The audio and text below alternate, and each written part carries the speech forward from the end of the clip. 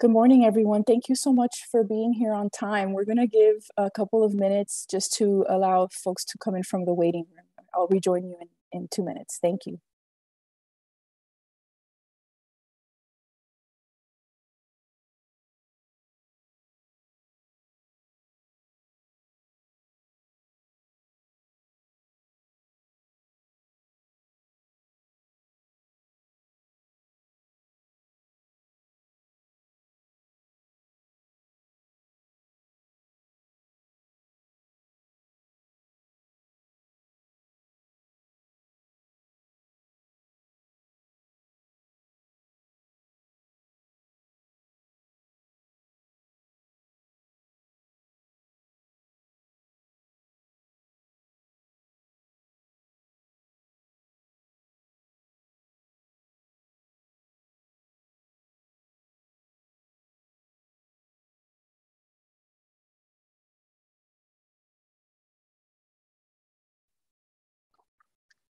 Hi, everyone. Good morning. Thank you so much for, for being here. Uh, my name is Maria Estorino, and I am the Associate University Librarian for Special Collections at the Wilson Library, University of North Carolina at Chapel Hill Libraries. Thank you so much for being here today. Um, we have a, a three hour program planned, but we know that you may be with us for part of the morning or for the whole morning. Whatever your time with us is today, we welcome you here and we welcome um, your participation.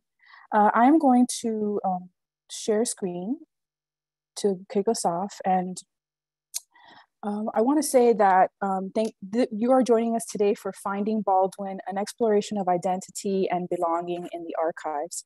We at the university libraries are so happy to be presenting this workshop with the Institute for the Arts and Humanities as part of their 2022 Mary Stevens Reckford Lecture in European Studies, for which Magdalena Zaborowska will discuss between home, Blackness, and me, unsettling locations, lives, and archives in American literary studies on February 24th.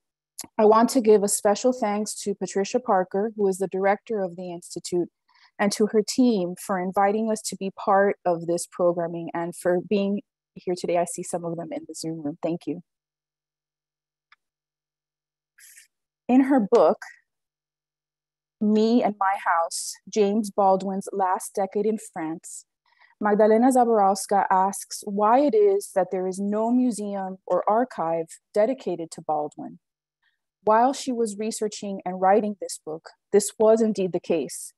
Soon thereafter, two things happened. In September 2016, the National Museum of African American History and Culture opened. And in 2020, they collaborated with Dr. Zaborowska in the development of this digital exhibition, Chez Baldwin, that explores his life and works through the lens of his house in the south of France. And in April 2017, the Schomburg Center for Research in Black Culture at the New York Public Library acquired James Baldwin's personal archives. While these developments in part answer Zaborowska's question, why is there no museum or archive dedicated to Baldwin? They leave the reader with many other questions about how archives are constructed and why. When the Institute for the Arts and Humanities invited us to create a program related to this year's Reckford Lecture around the theme of identity and belonging, we thought of this framework in two ways. First is the question of who belongs in the archives and who finds themselves in the archives. But second is the question of how our own individual identities impact our professional practice, how the archivist's or librarian's identity shape the work of building the archives, describing them, and providing access to them. Most definitions of archives will tell you that they are the collection they are collections of records in various forms and formats the institutions responsible for those records and the places where they are housed like wilson library. By focusing today on identity and belonging we are foregrounding an essential component of the archives and that is the people who work in them.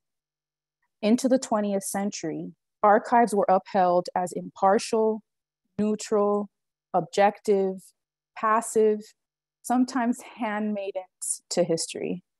Over the past two decades, critical archival studies have focused our attention on the power of archives and how they are used to control the past and protect the position of the powerful in society.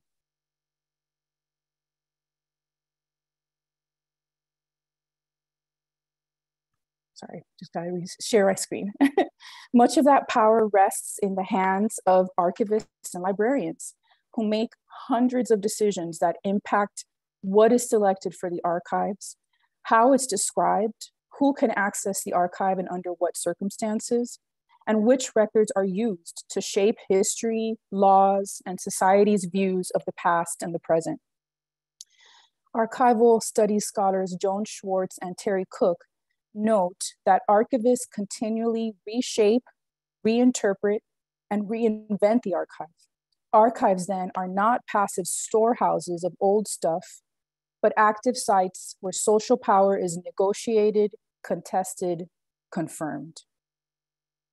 If critical archival studies have turned archivists and librarians towards frameworks of power, feminist theory has also pointed us toward radical empathy and ethics of care in our work.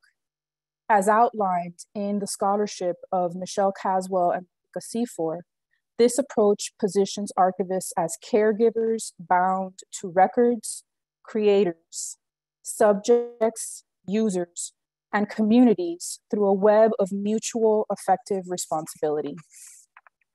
We hope that today's workshop will provide insights into how we, librarians and archivists, negotiate these frameworks of power, empathy, and care as professionals and as individuals, and to generate critical conversation about the layers of meaning of archival work and its impact. Thank you again so much for joining us today for this exploration and this conversation. And so now it is my great pleasure to turn the program over to Chaitra Powell, who is curator of the Southern Historical Collection here at Wilson Library, who will be guiding us through today's workshop. Chaitra? Thank you, Maria. And welcome to everyone who's joining us this morning. We're really excited to talk to you about our work in the archives and um, its connections to some of the themes that Maria discussed earlier.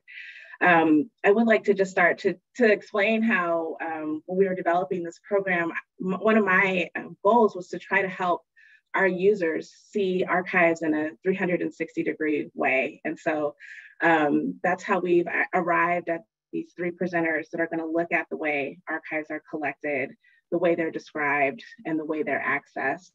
And that is really a core function of a library and how do our identities and notions of belonging impact that.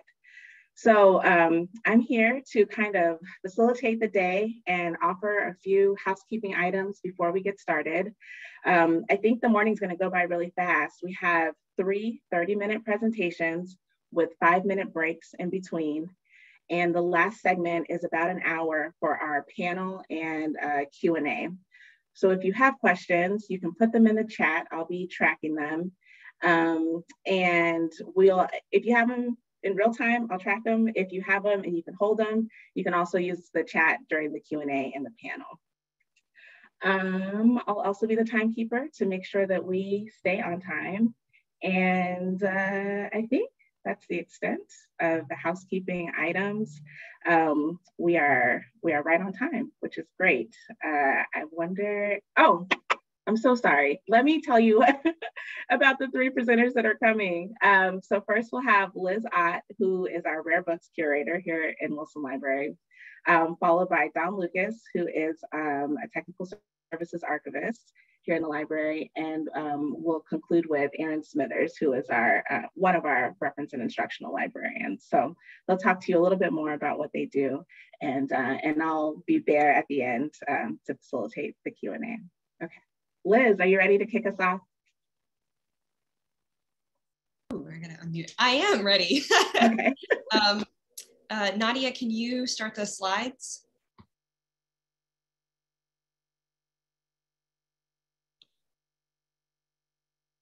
Great. So um, I wanted to begin today um, by can we go to the next one, the quotation? Wanted to begin today by uh, talking about this um, particular line that is from the book Me and My House uh, that is the basis for the Reckford lecture.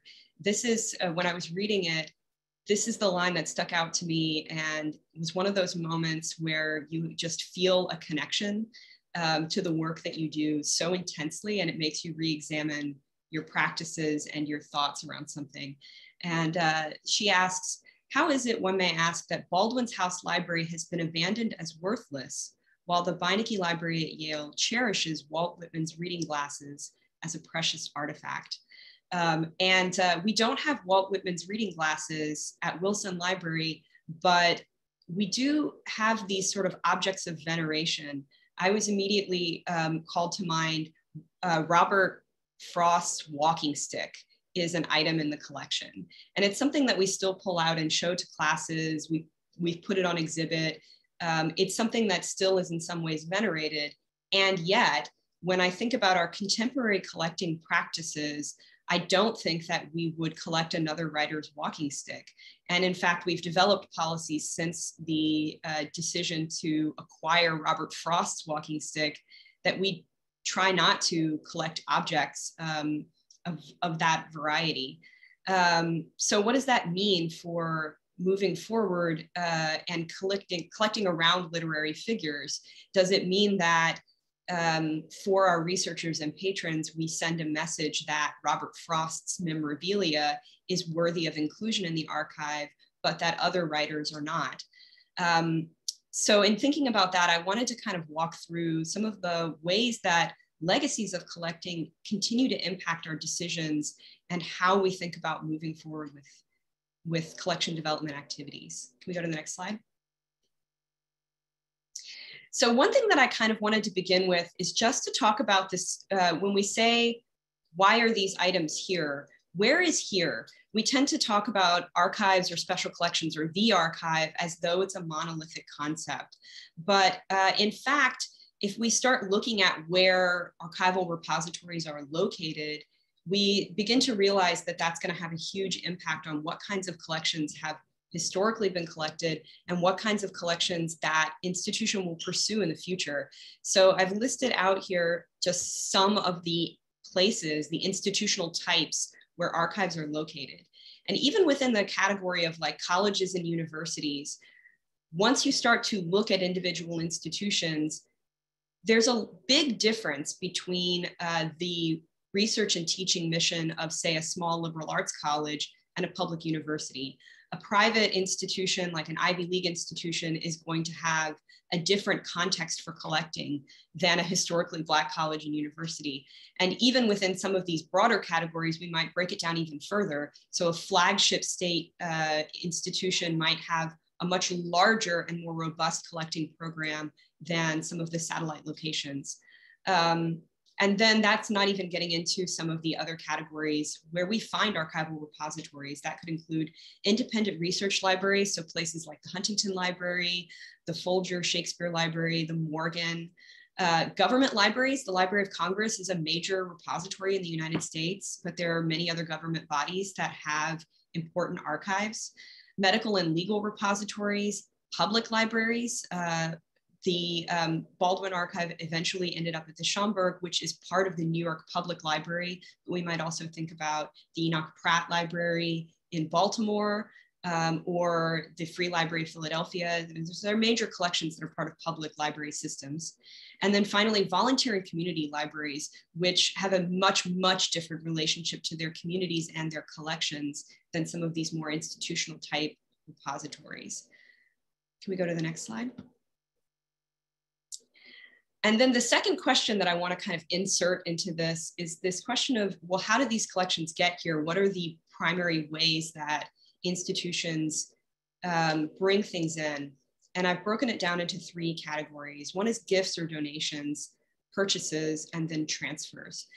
Uh, and the thing that I want to point out about all three of these pathways is that each of them is inflected in their own way with both historical legacies, but also with certain amounts of power and privilege that reflect institutional type. So, for example, under gifts, you know, when we think about who is giving to repositories, it's typically donors have a relationship to the institution. So in the case of a university, it might be an alumni or they want to have a relationship with the institution. And I think that that's a really important thing to remember is that a, gift or a donation is the forging of a relationship. And an example that I want to insert into this to kind of point out what I mean is um, the collection of uh, Octavia Butler's papers at the Huntington Library. So the Huntington is a private research library in Pasadena. Octavia Butler grew up in Pasadena uh, but was not someone who was welcomed into the Huntington Library during her upbringing. And in fact, in her papers, she talks very eloquently about the occasions where she did interact with the Huntington and her feelings of being othered and out of place in that repository. Yet her decision to donate her papers there in part was to kind of reclaim that space as a space of privilege that she could now access as a signal of her own success as a writer. Um, but that decision has its own controversies. Um, people who study Butler were not necessarily happy that the Huntington received her papers because they are a very closed off institution compared to many other repositories. To access their collections, you need to be um, credentialed provide letters of reference and apply to be a reader. So the community that Butler grew up in, that is just down the street from the Huntington Library, still cannot access her papers, even though they are right down the road. Yet her decision to donate there reflects her desire to build a relationship with that institution. But in another way, I think we can think about the ways that um, differences in privilege and power amongst institutions are going to, in some ways, predetermine the types of collections that want to be part of that collection, if that makes sense as a formulation.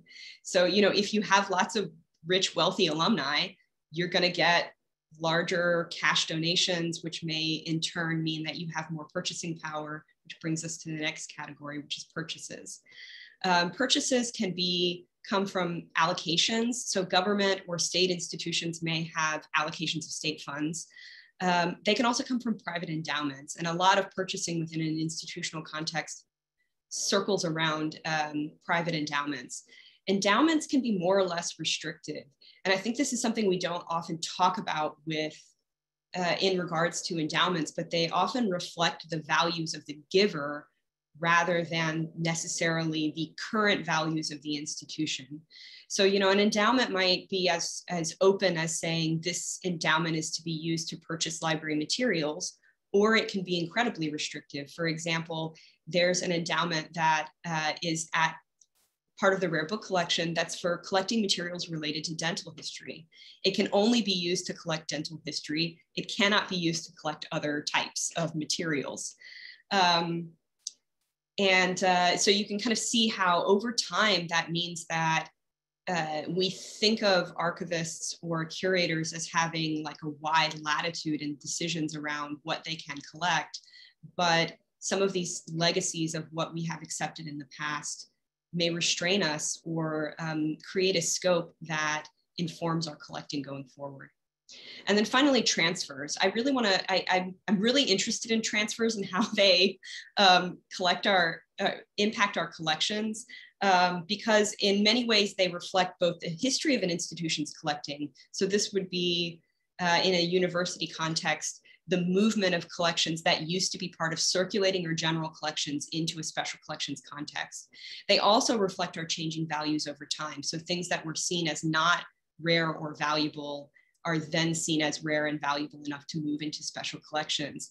And this is incredibly culturally um, inflected. So um, if we compare, say, the University of North Carolina, Chapel Hill to Howard University, in the 30s, 40s, and 50s, UNC was a major buyer of Black literature in our general collections, contemporary literature. So um, authors like Countee Cullen or um, uh, Langston Hughes, you know, people who were publishing then were But if we look at Howard, Dorothy Porter, who was the curator there, saw these same contemporary authors as a building blocks for a Black literature collection in special collections. And the legacy of that over time is that a lot of the books that are now rare um, and that we want to preserve have been um, destroyed through circulation at UNC. Fine exemplars at Howard, and it reflects those different institutions' values around what they saw as worthy of um, inclusion in special collections. Go forward one. I want to talk a little bit more about the specific aspects of literary collections at UNC. Um, we are a major collector of literary collections, but primarily of print. And that's uh, largely the result of a bequest that we received in 1960 um, from a man named William Whitaker, who established a fund in the rare book collection to purchase rare books and manuscripts, and in particular, um, English and American literature. Whitaker was himself a book collector, and we also received his collections. And the bequest came with instructions to build his collections in the same way that he collected. And he was a very traditional belles lettres kind of collector. So he collected uh, authors like Charles Dickens, William Makepeace Thackeray, John Whittier Greenleaf, uh, John Greenleaf Whittier, and so on. Um, and that both the corpus of materials that we received from him, as well as this endowment, really shaped the types of writers that we saw as valuable and worthy of adding to the collection. Um, by contrast, we do not have um, a lot of significant archival collections, modern archival literary collections. There's just a handful of authors. Um, the major collections that we have would be Thomas Wolfe, Diane di Prima, uh, who is a beat writer associated with the Beats movement, Walker Percy, and playwright and UNC faculty member Paul Green. And it's interesting when I go and look into what we have collected that's outside of this sort of canon of white writers. We, I often find that we have collected specific Black writers because of their relationship to one of the white writers I just mentioned. So, for example, we have pretty extensive print collections of Audre Lorde and LeRoi Jones or Amiri Baraka because of their professional relationship with Diane di Prima, whose literary archive we hold. Similarly, we have some important collections related to Richard Wright because of Paul Green adapted Native Son for Broadway and was a professional colleague of Wright. Forward one more. Um, when I go looking for Baldwin at UNC, I, I find a similar kind of story and I find some interesting moments of what we have valued and not valued. So um, UNC does not have a copy of the first edition of Go Tell It on the Mountain, but screen you'll see um, a picture of an advanced reader copy in a trial binding of Go Tell It on the Mountain. And we also have the Universal Library Edition, which is on the far right, published by Grosset and Dunlap. Um, so these three items that I have up here, images of the advanced reader copy, the first edition published by Alfred Knopf in 1953, and the Universal Library Edition, they're actually all bibliographically speaking the exact same text. They were printed from the same printing plates. And so there are no textual differences between these three, um, or at least no major ones. They are, in fact, the exact same book inside. The difference is in their packaging.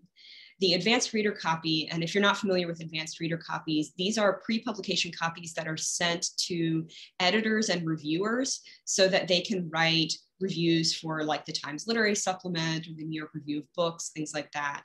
Um, and they can sometimes have great textual differences between the first edition, and often they don't. Often they're identical, as is the case with Go It on the Mountain. The only real difference is that uh, Knopf had designed this um, cover that you see here that has a lone central figure. And Baldwin objected to this cover. He felt that it was a stereotypical depiction of a Black man, and he thought it distorted the um, purpose of the novel and the message of the novel. So the first edition um, came out with a completely different cover design, which you see in the center. It's really, really different. It has a very different feel um, and it figures different aspects of the novel thematically. Grosset and Dunlap, the edition that you see on the far right that came out in 1956, is uh, Grosset and Dunlap were a reprint series. So after something had gone through its initial run, publishers like Knopf would sell off their plates to Grosset and Dunlap, who would just then reprint it and repackage it as a paperback as part of their Universal Library series, which was contemporary authors who had received a, an amount of critical acclaim. And they uh, repackaged it yet again with like an even different cover that Baldwin had nothing to do with whatsoever. Um, the reason that I wanted to bring this example is that we don't actually have a first edition. And it's really interesting to me that what we've chosen to, um, to privilege is um, essentially the thing that Baldwin himself rejected. So the version of the novel that we've chosen to collect and the aspect of it that we've identified as special is explicitly what Baldwin rejected as not being part of the narrative that he hoped to put forth about his own work. Can we go forward one more? Um, so I want to end with this uh, quotation that is from a book called Placing Papers. It's a really wonderful overview of uh, literary archives collecting since 1955. And in the opening uh, chapter, uh, the author Amy Chen writes that a market's power is shown by what it prevents from changing hands. In other words, the value of our collections is as much defined by what we have chosen to collect as what we've chosen to exclude um, in saying we won't collect this, we're making a claim about the value or lack of value of those materials as much as we're making a claim for the value of things that we do include in the archive. Um, so I want to end there and turn it back over to Nadia. We have about two minutes before my scheduled time is up. So if anyone has anything they want to jump in and say or question, I can also open it up to that.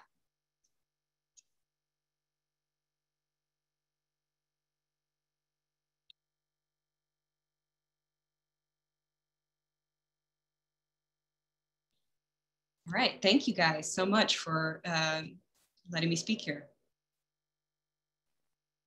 Thank you, Liz. That was great. I really appreciated the imagery of the Baldwin books. Um, yeah, let's go ahead and take a, a quick break. So we have about um, 15 minutes before we start our next one. Does that sound cool? Okay.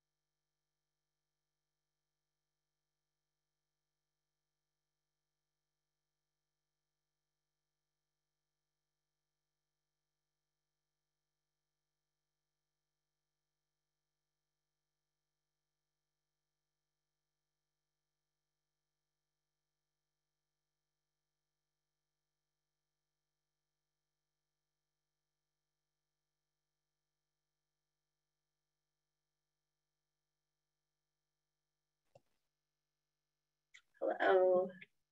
Cool. It's 9.45, so we're gonna move into our second um, presenter, um, which I'm excited to introduce, Dawne. Um, because I feel like that question of, of what is this thing and how much we say about it and how we talk about it is um, absolutely colored by the way that we look at the world. And so um, Dawne is here to talk about how that works in the library. Are, are you ready to get started, Dawne? I am. Cool. Take it away. All right. Um, I am going to share my screen and let it out of, um, get it out of this view. okay, so, and I am um, going to actually turn my video off. Um, but hi, everyone, welcome back. I hope you had a nice break. Oh, I'm still not in, I'm still not doing what I'm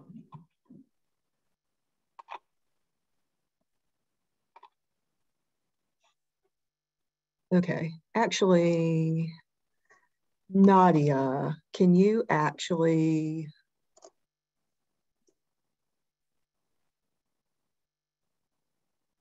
Nadia, actually, can you control the slides? I'm sorry. Yep, no problem. Okay. Sorry about that, everyone but anyway, um, while Nadia is getting that up, um, so again, um, I am Dawne Lucas. Thank you for that introduction, Chaitra. Um, and I really enjoyed um, Liz's remarks about um, how materials make it their way into the library. And so now that we've talked about that, I'm going to talk about how you'll find them. So as Chaitra mentioned, I'm part of the technical services staff and part of what tech technical services does is to describe materials so users can find them. Um, so Nadia, if you can go to the next slide, please. Um, so first, let's talk a little bit about catalog records. Um, and so um, I, I, know a lot of you know about catalog records already, so humor me a little bit. Um, and I know uh, many of you might remember um, the card catalogs um, that are pictured on the left. Um, and if you remember, each drawer was filled with catalog cards that contained information about materials in the library. Um, there is an example of a card at the top of this slide. Um, you can actually still find this catalog card in the card catalog in our um, research room um, right now if you go down and look for it. Um, but although you can still find these card catalogs in some libraries, they have now, of course, largely been superseded by online catalogs. And so on the right, you'll see a screenshot of our current UNC University Libraries homepage um, with a search box that gives you results for online catalog records.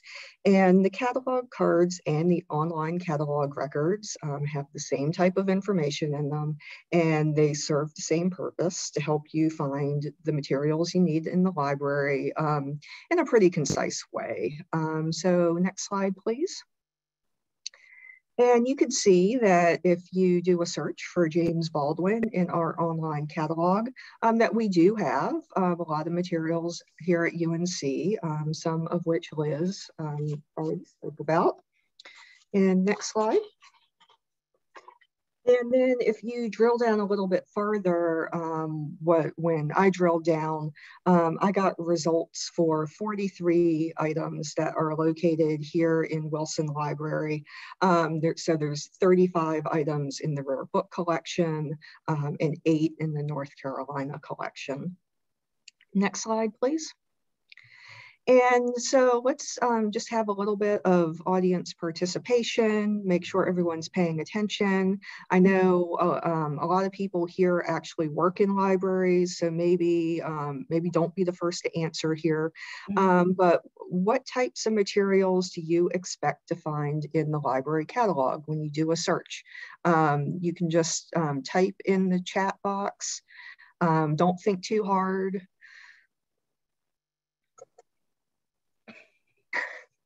Books. Thank you, Chaitra. Anything else?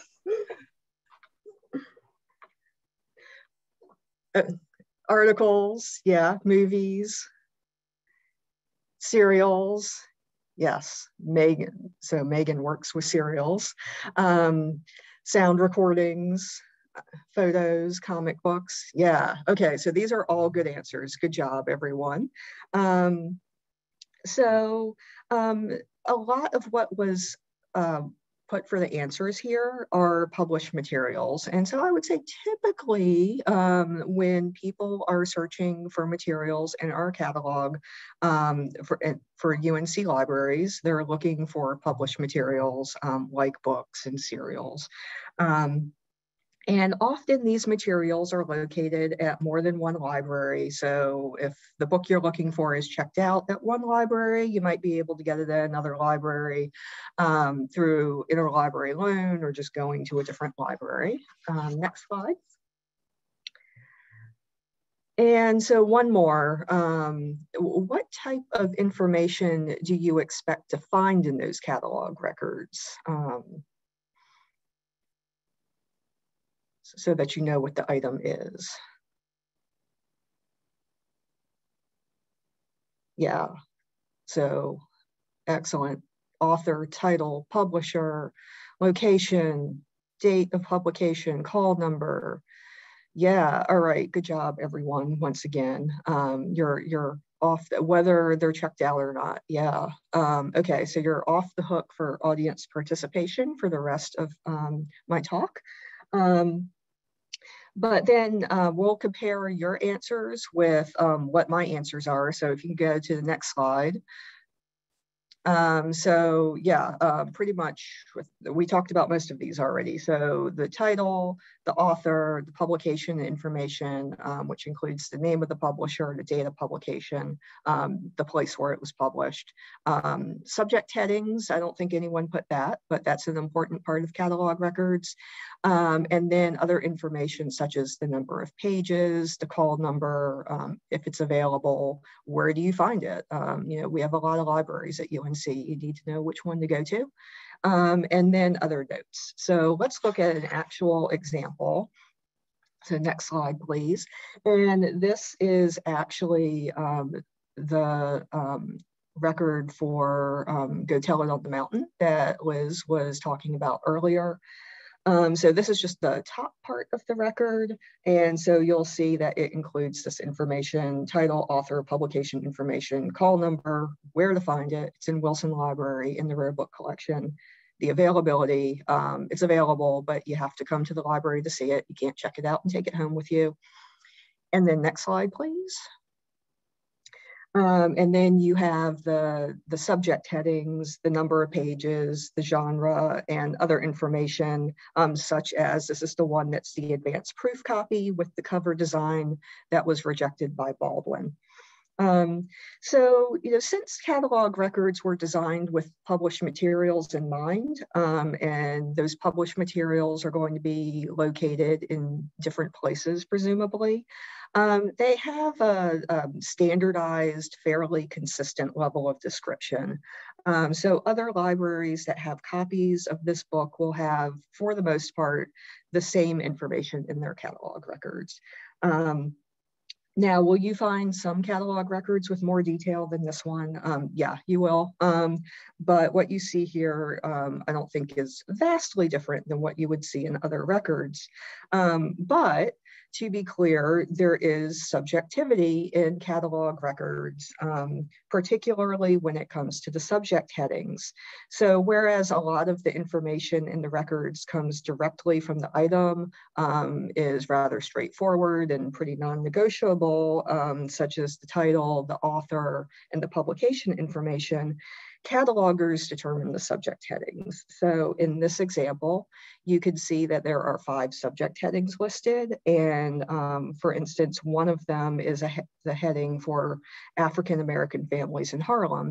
Um, so that is a subject heading that whoever cataloged this book um, chose to include, um, but it's possible that someone else um, who cataloged this item might have not included that heading for whatever reason. So um, you wouldn't have had the access point to Harlem.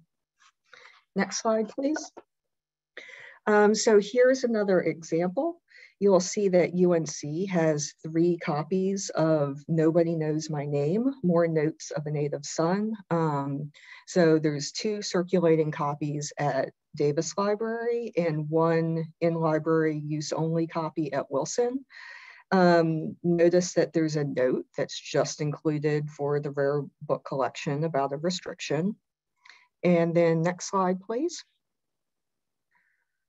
And um, here's the bottom of the record. You'll notice that there are fewer subject headings here than for Go Tell It on the Mountain. There's only two instead of five. Um, I don't know why that is, um, but you know, that's, so there's a little bit less access, um, uh, subject heading access for this item than for the other one. Um, and you'll also see that there are more notes that are specific to the rare book collection copy. So next slide, please.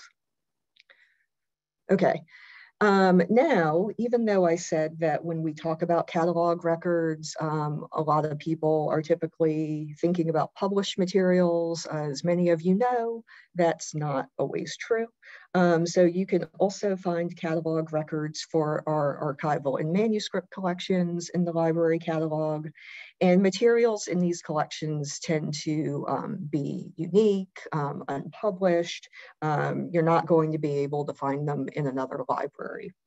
Um, so on the right side of the screen, you'll see that one of my search results is for the Trudier Harris papers um, which is listed as being an archival and manuscript collection. Um, so let's talk about those now. Um, next slide, please.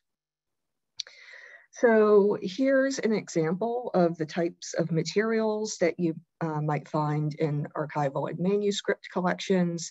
Um, I'll give a quick disclaimer that these materials are not from the Trudier Harris papers. Um, uh, this is, um, but, but they're materials from another collection, other collections in Wilson Library. So what you see here are um, you know, letters, photographs, slides, promotional materials. Um, collections might have audio visual materials, um, you know, video cassette tapes, audio cassette tapes.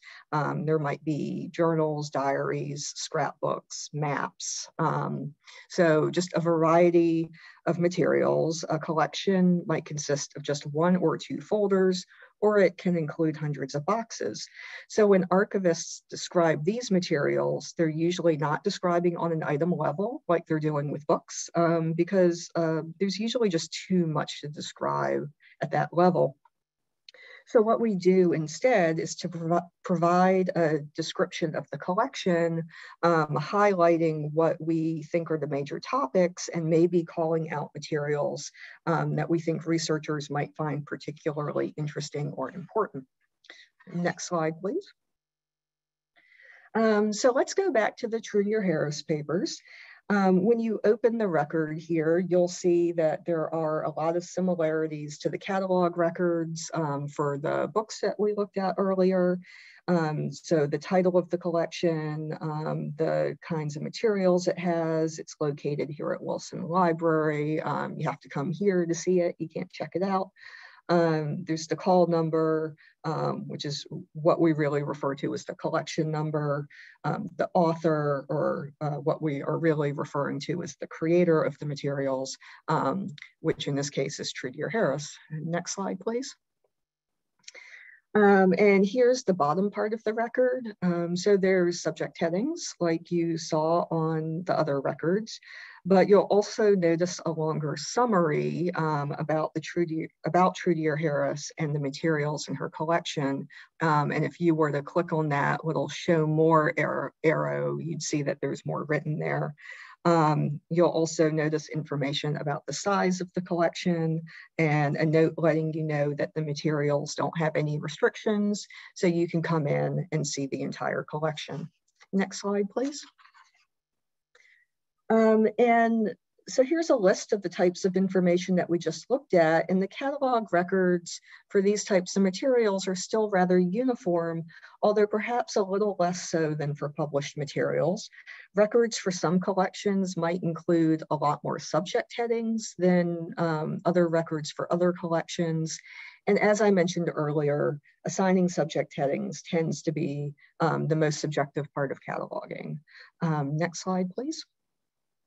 Um, and one thing you'll see in these catalog records that we didn't see for the books is a link to the finding aid for the collection. Um, finding aids, all right. So now let's shift our focus away from catalog records to finding aids. Uh, next slide. Yep, thank you. Um, and maybe you don't know a lot about what a finding aid is. Um, even, even if you work in the library, you might not know very much about them. Um, that's okay. We're going to talk about them now.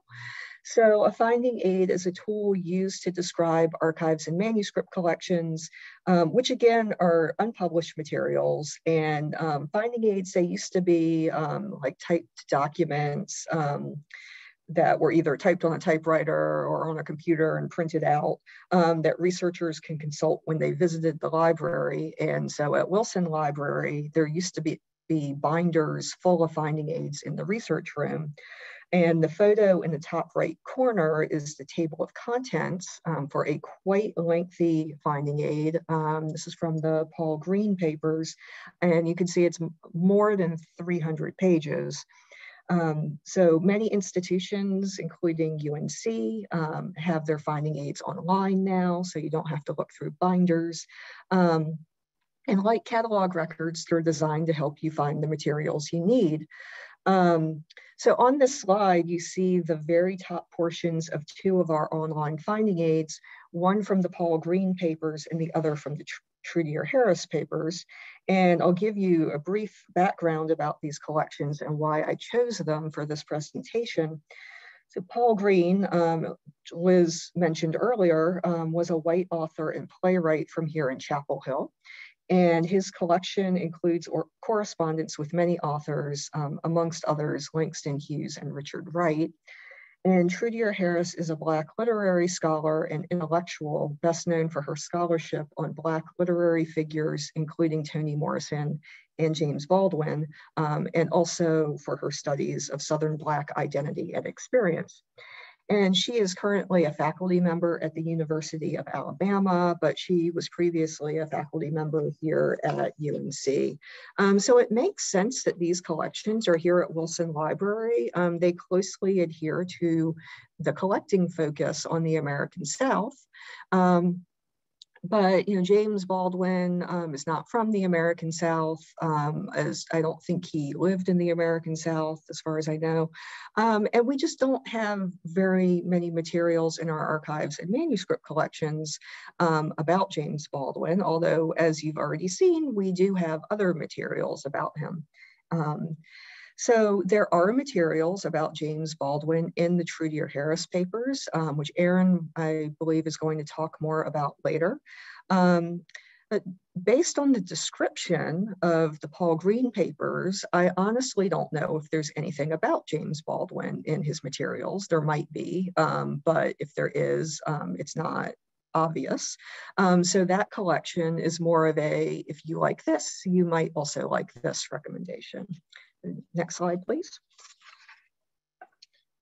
So here's my list of the types of information that you'll find in finding aids, um, which looks pretty similar to the list I showed you for catalog records, um, but you'll notice two yellow stars on the right side of the screen.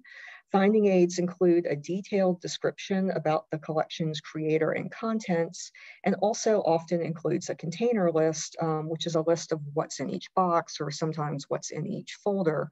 Um, now you might recall that the catalog record for the Trudier Harris papers included that summary field that included a description. So you might wonder why I'm calling attention to it again. And I'm doing that because since many finding aids contain considerably more description than what you'll find in catalog records, um, recall that 300 plus page finding aid on the previous slide um, um, you're not going to get that much information in the catalog record. So finding aids uh, tend to have a lot more detail.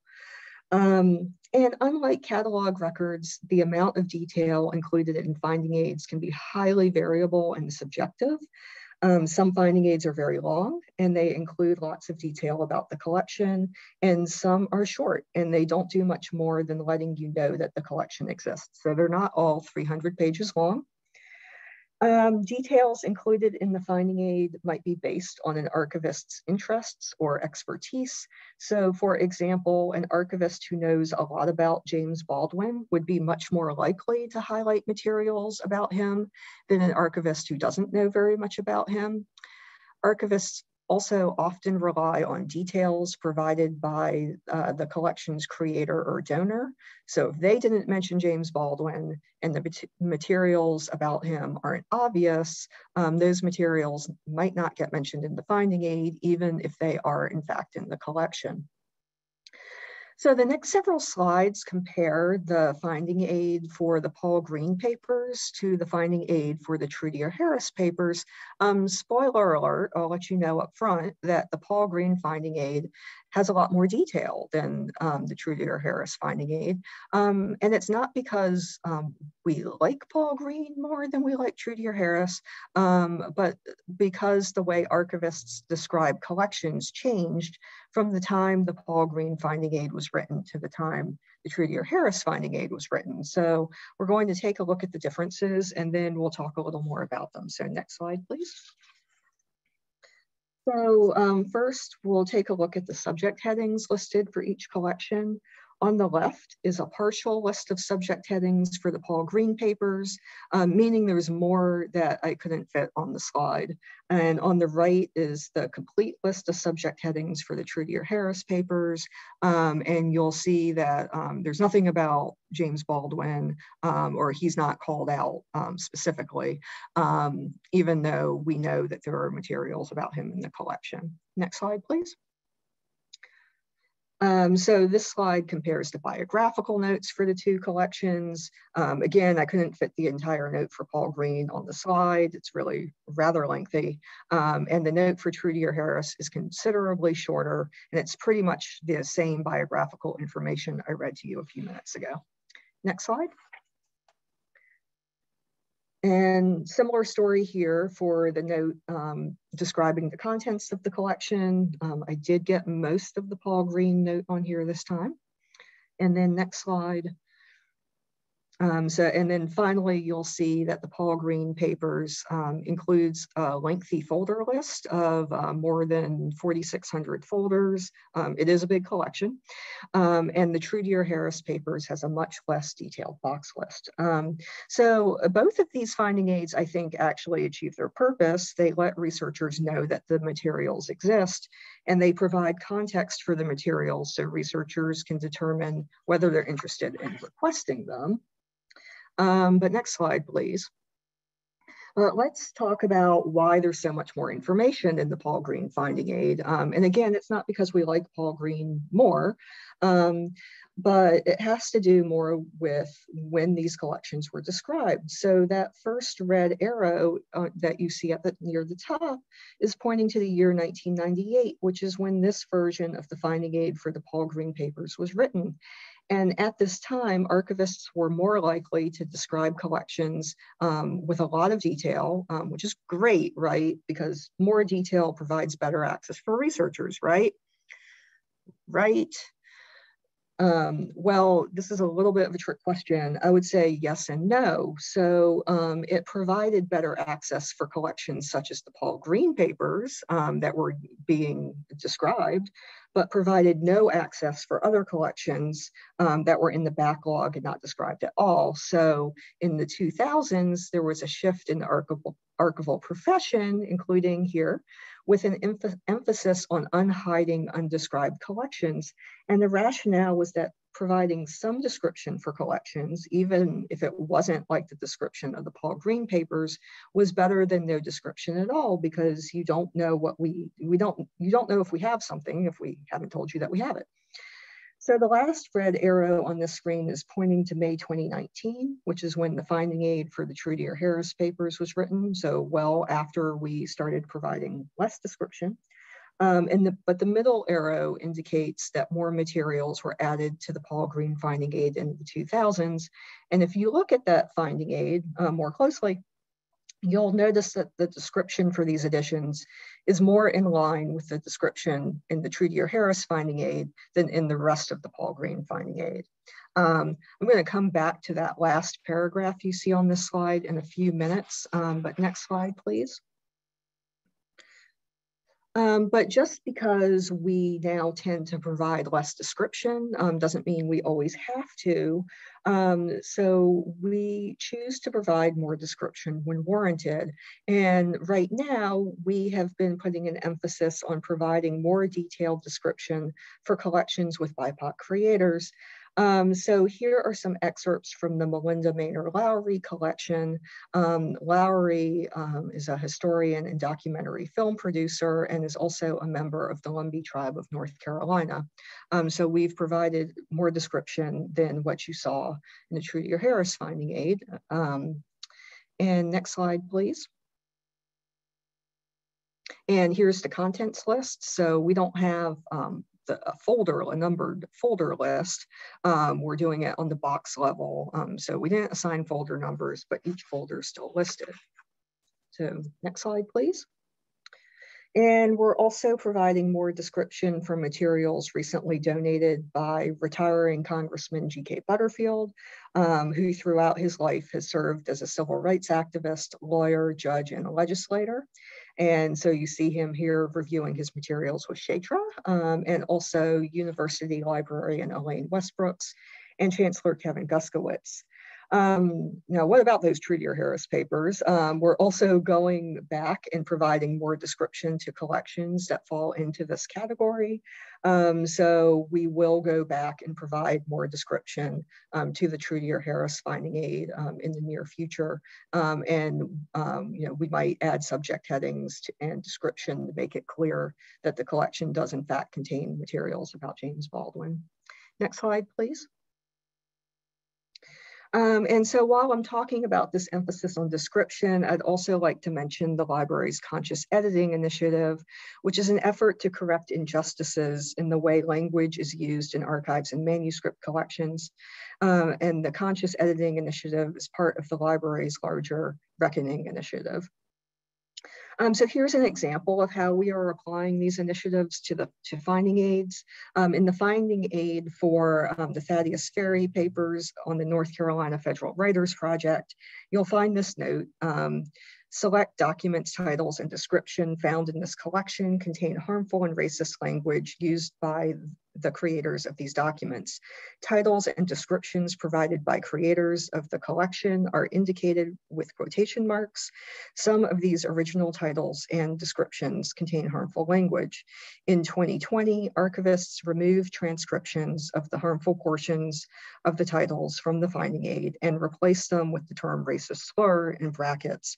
The original titles and harmful language remain on the physical documents and digitized access copies. Um, and then you'll see um, we, we continue on to say that um, we have not removed um, some other racial terms because we feel that they provide important historical context about the materials and who created them and that they facilitate the research process. Um, next slide, please. Um, so here's an example of where we did this um, in the title for folder 20.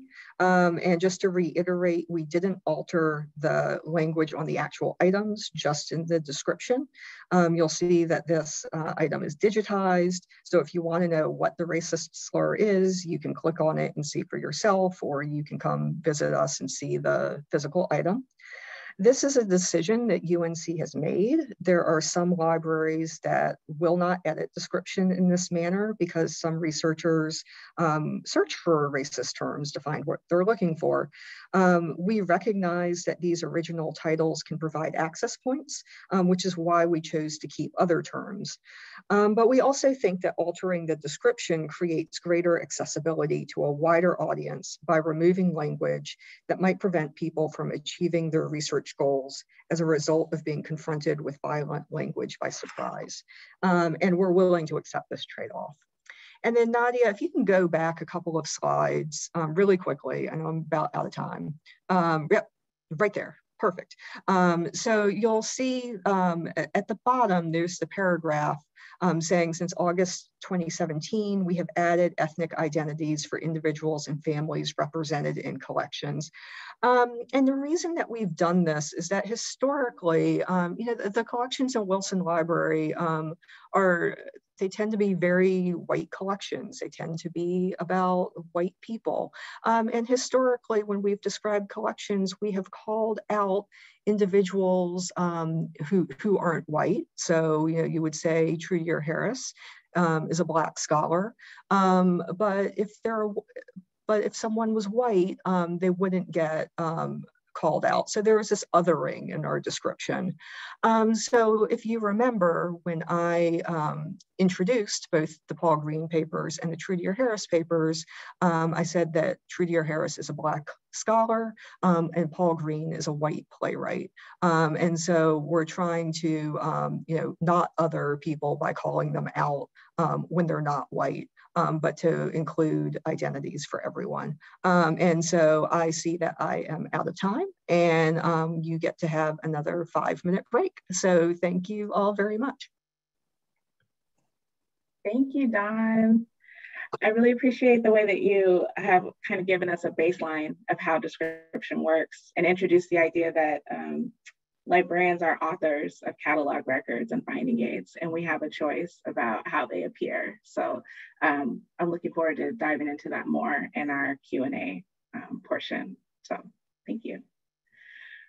All right, y'all, we will be back at it at 1020 um, with Aaron Smithers. Thank you.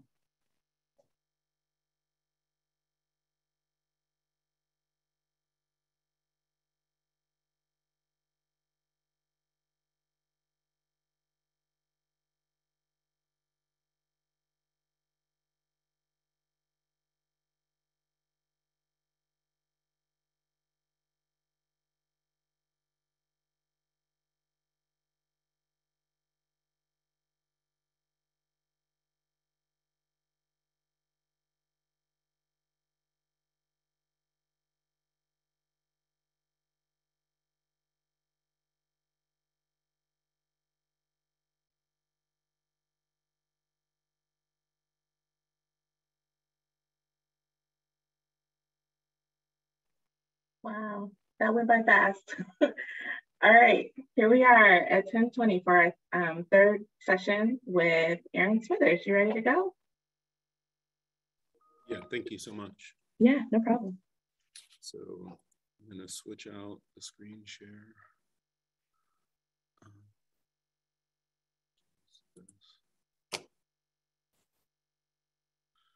does that look okay? Do you still see, do you see uh, the same? Sorry, did it just change? There it goes. Right on. Um, okay, um, thanks so much, um, Dawne and Liz, um, um, for for kind of setting me up um, to talk about uh, how we how we might use these items. Um, so, you know, I first I want to um, I have a tendency to kind of overcomplicate uh, simple ideas, um, but use really is, is not that simple. Um, it really just, there's so much that depends on, on how someone would like to use something. What does it mean to use something in a library? Um, I got really hung up here, which is kind of a tendency and it caused me to kind of spiral, spiral around and not really understand what I was wanting to talk about or do. But I mean, does it mean reading it? Does it just mean reading it? Does it mean analyzing it? If you don't learn um, anything, did you not use it? Um, a lot of people come to archives to use things um, uh, for other creative works, for documentaries or an exhibit, or sometimes people want to quote things in a book, or some people want to use things for very personal reasons. They want to learn more about their family or their personal histories or local history, or maybe someone wants to use something to revise or correct a historical untruth. Um, there are all different ways that people come to the library and come to archives. Um, to um, to use something, right?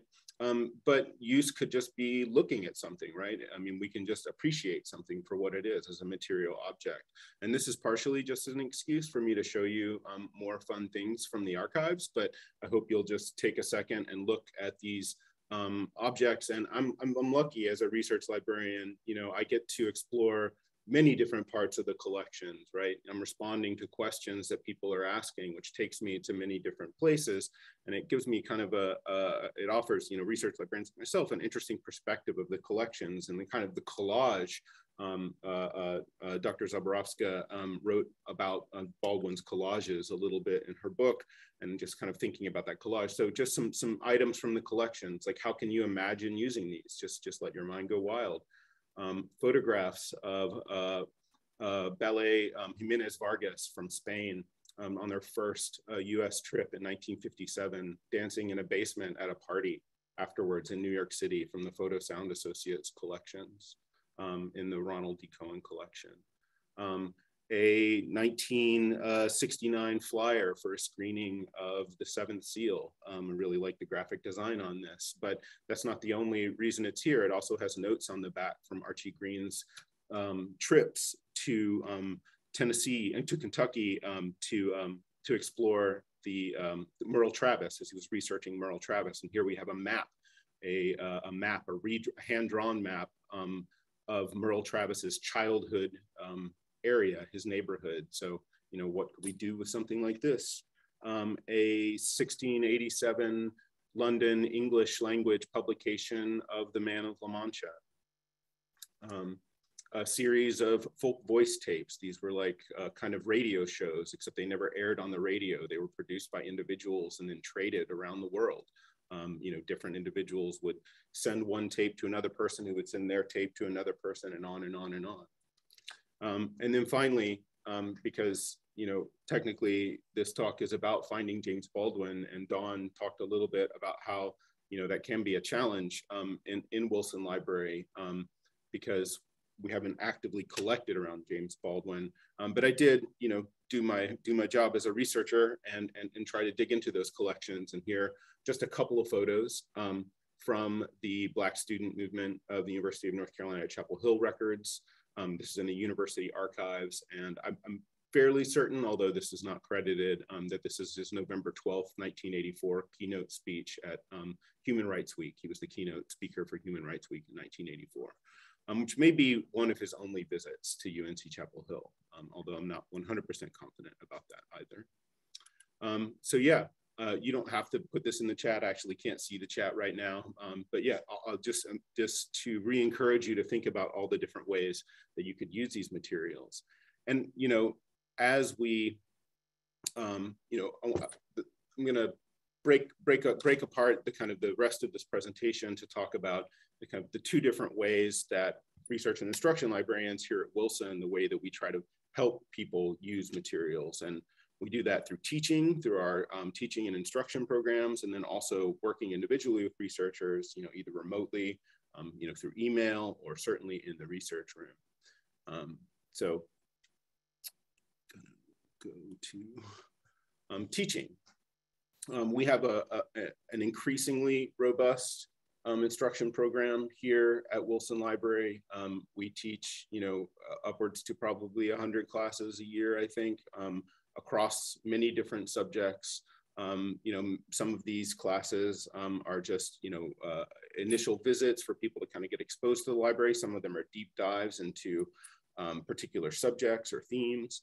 But in all of these instruction sessions, you know, we, we ground our teaching in a, um, in, in a goal um, of instruction around primary source literacy instruction. And, um, you know, that work is largely, um, we, we kind of construct that work and frame our teaching um, according to the primary source literacy guidelines as outlined by the Society, of American Archivists. Um, we've kind of distilled some of those ideas into the values that, that we um, here at Wilson, um, our, our, our, research librarians think about. Like we encourage students to think critically um, to, if possible, relate to history on a personal level. So we're starting to think about belonging and identity, um, grapple with complexity, uncertainty, and contradictions. Um, you know, it's an opportunity for them to think about approaching academic writing more creatively.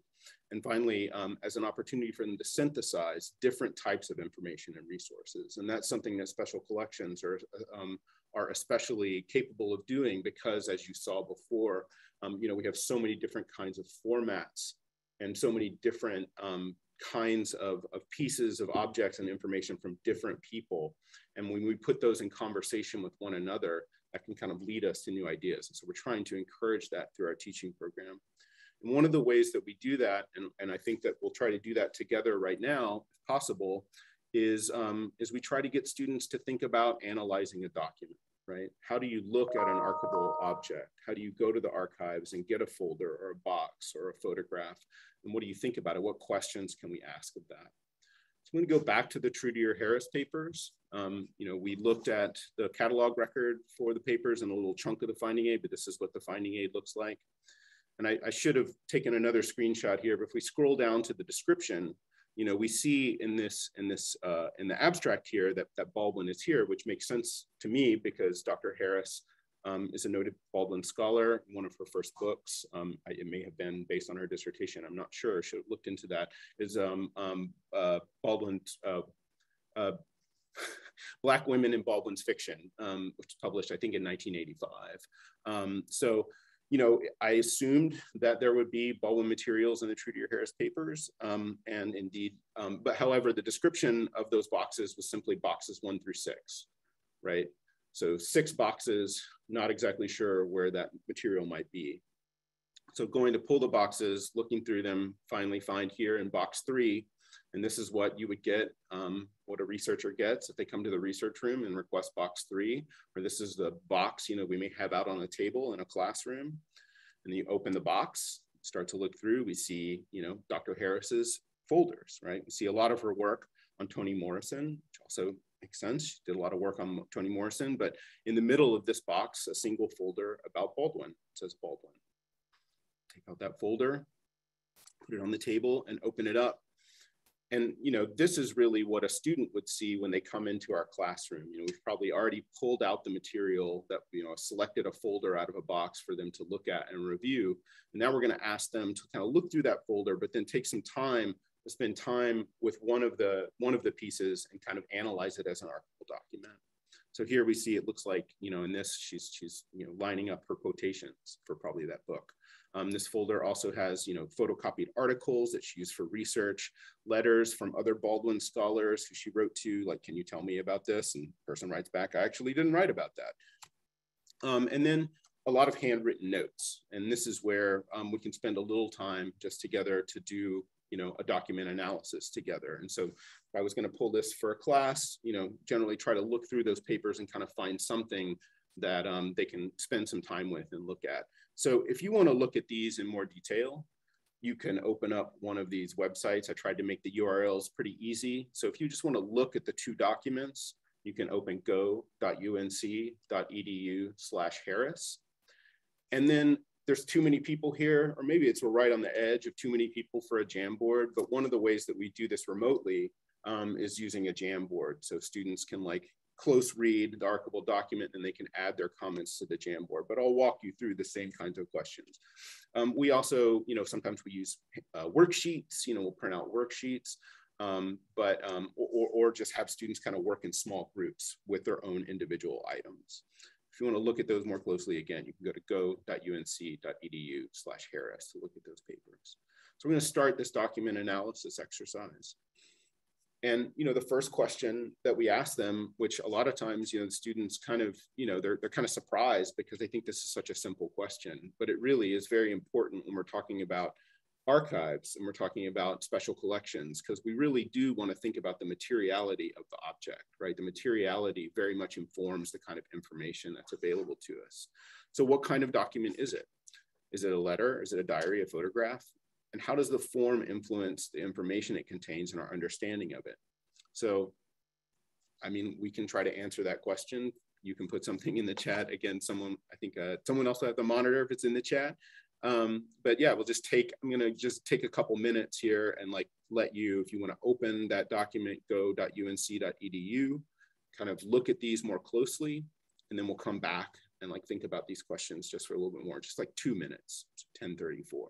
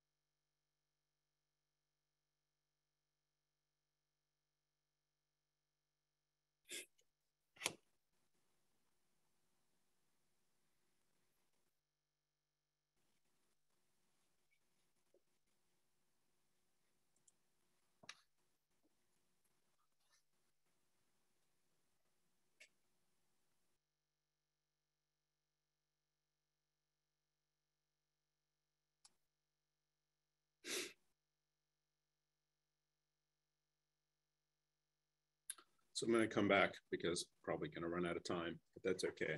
Um, you know, ho hopefully if you were able to go, and thank you for putting the links in the chat, um, Chaitra and Maria, appreciate that.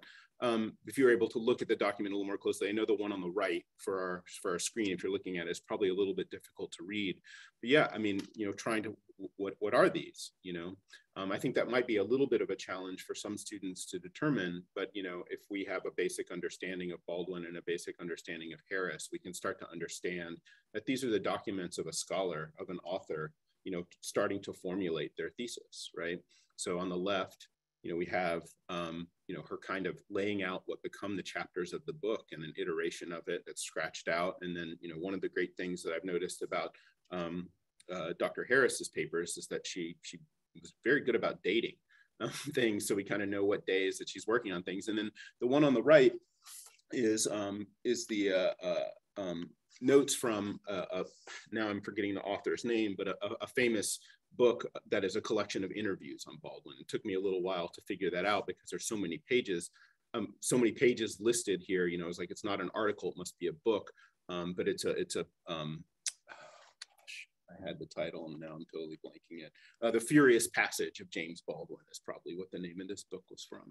So we get start to start to get a be better understanding of what these items are, and then we can start to understand a little bit more about what Dr. Harris was working on, and maybe discover some information that we could use into our further research on Baldwin, whatever that may be. We don't still really have a solid research question kind of move on through our document analysis to something that a little more easy. And this can encourage students to like look at a catalog record or look at a finding aid, right?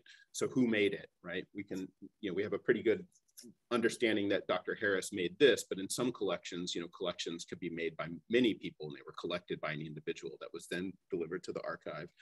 We ask people to consider the audience.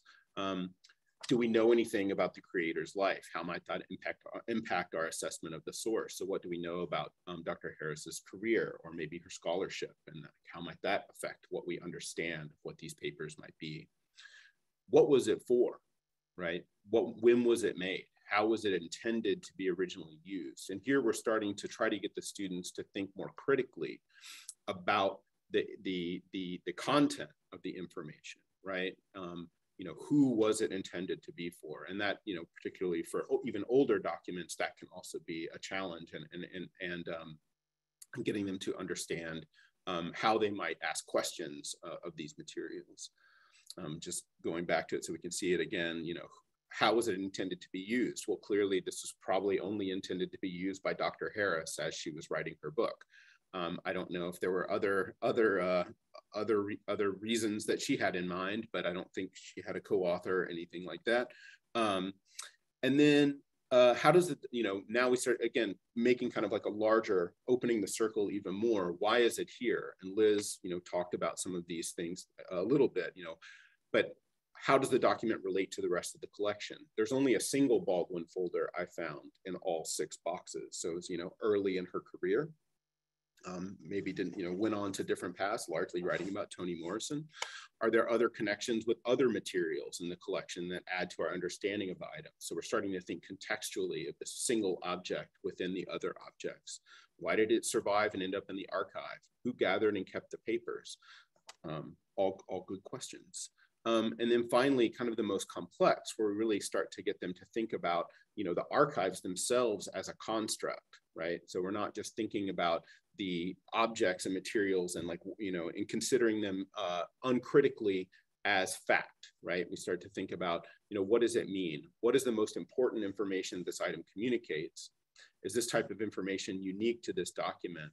And then most critically, possibly what information is absent and what more do we want to know? Right? Because you know, on the research journey that we're hoping that they are going on, you know, that's this these documents are going to lead them to something else. What more do they want to know?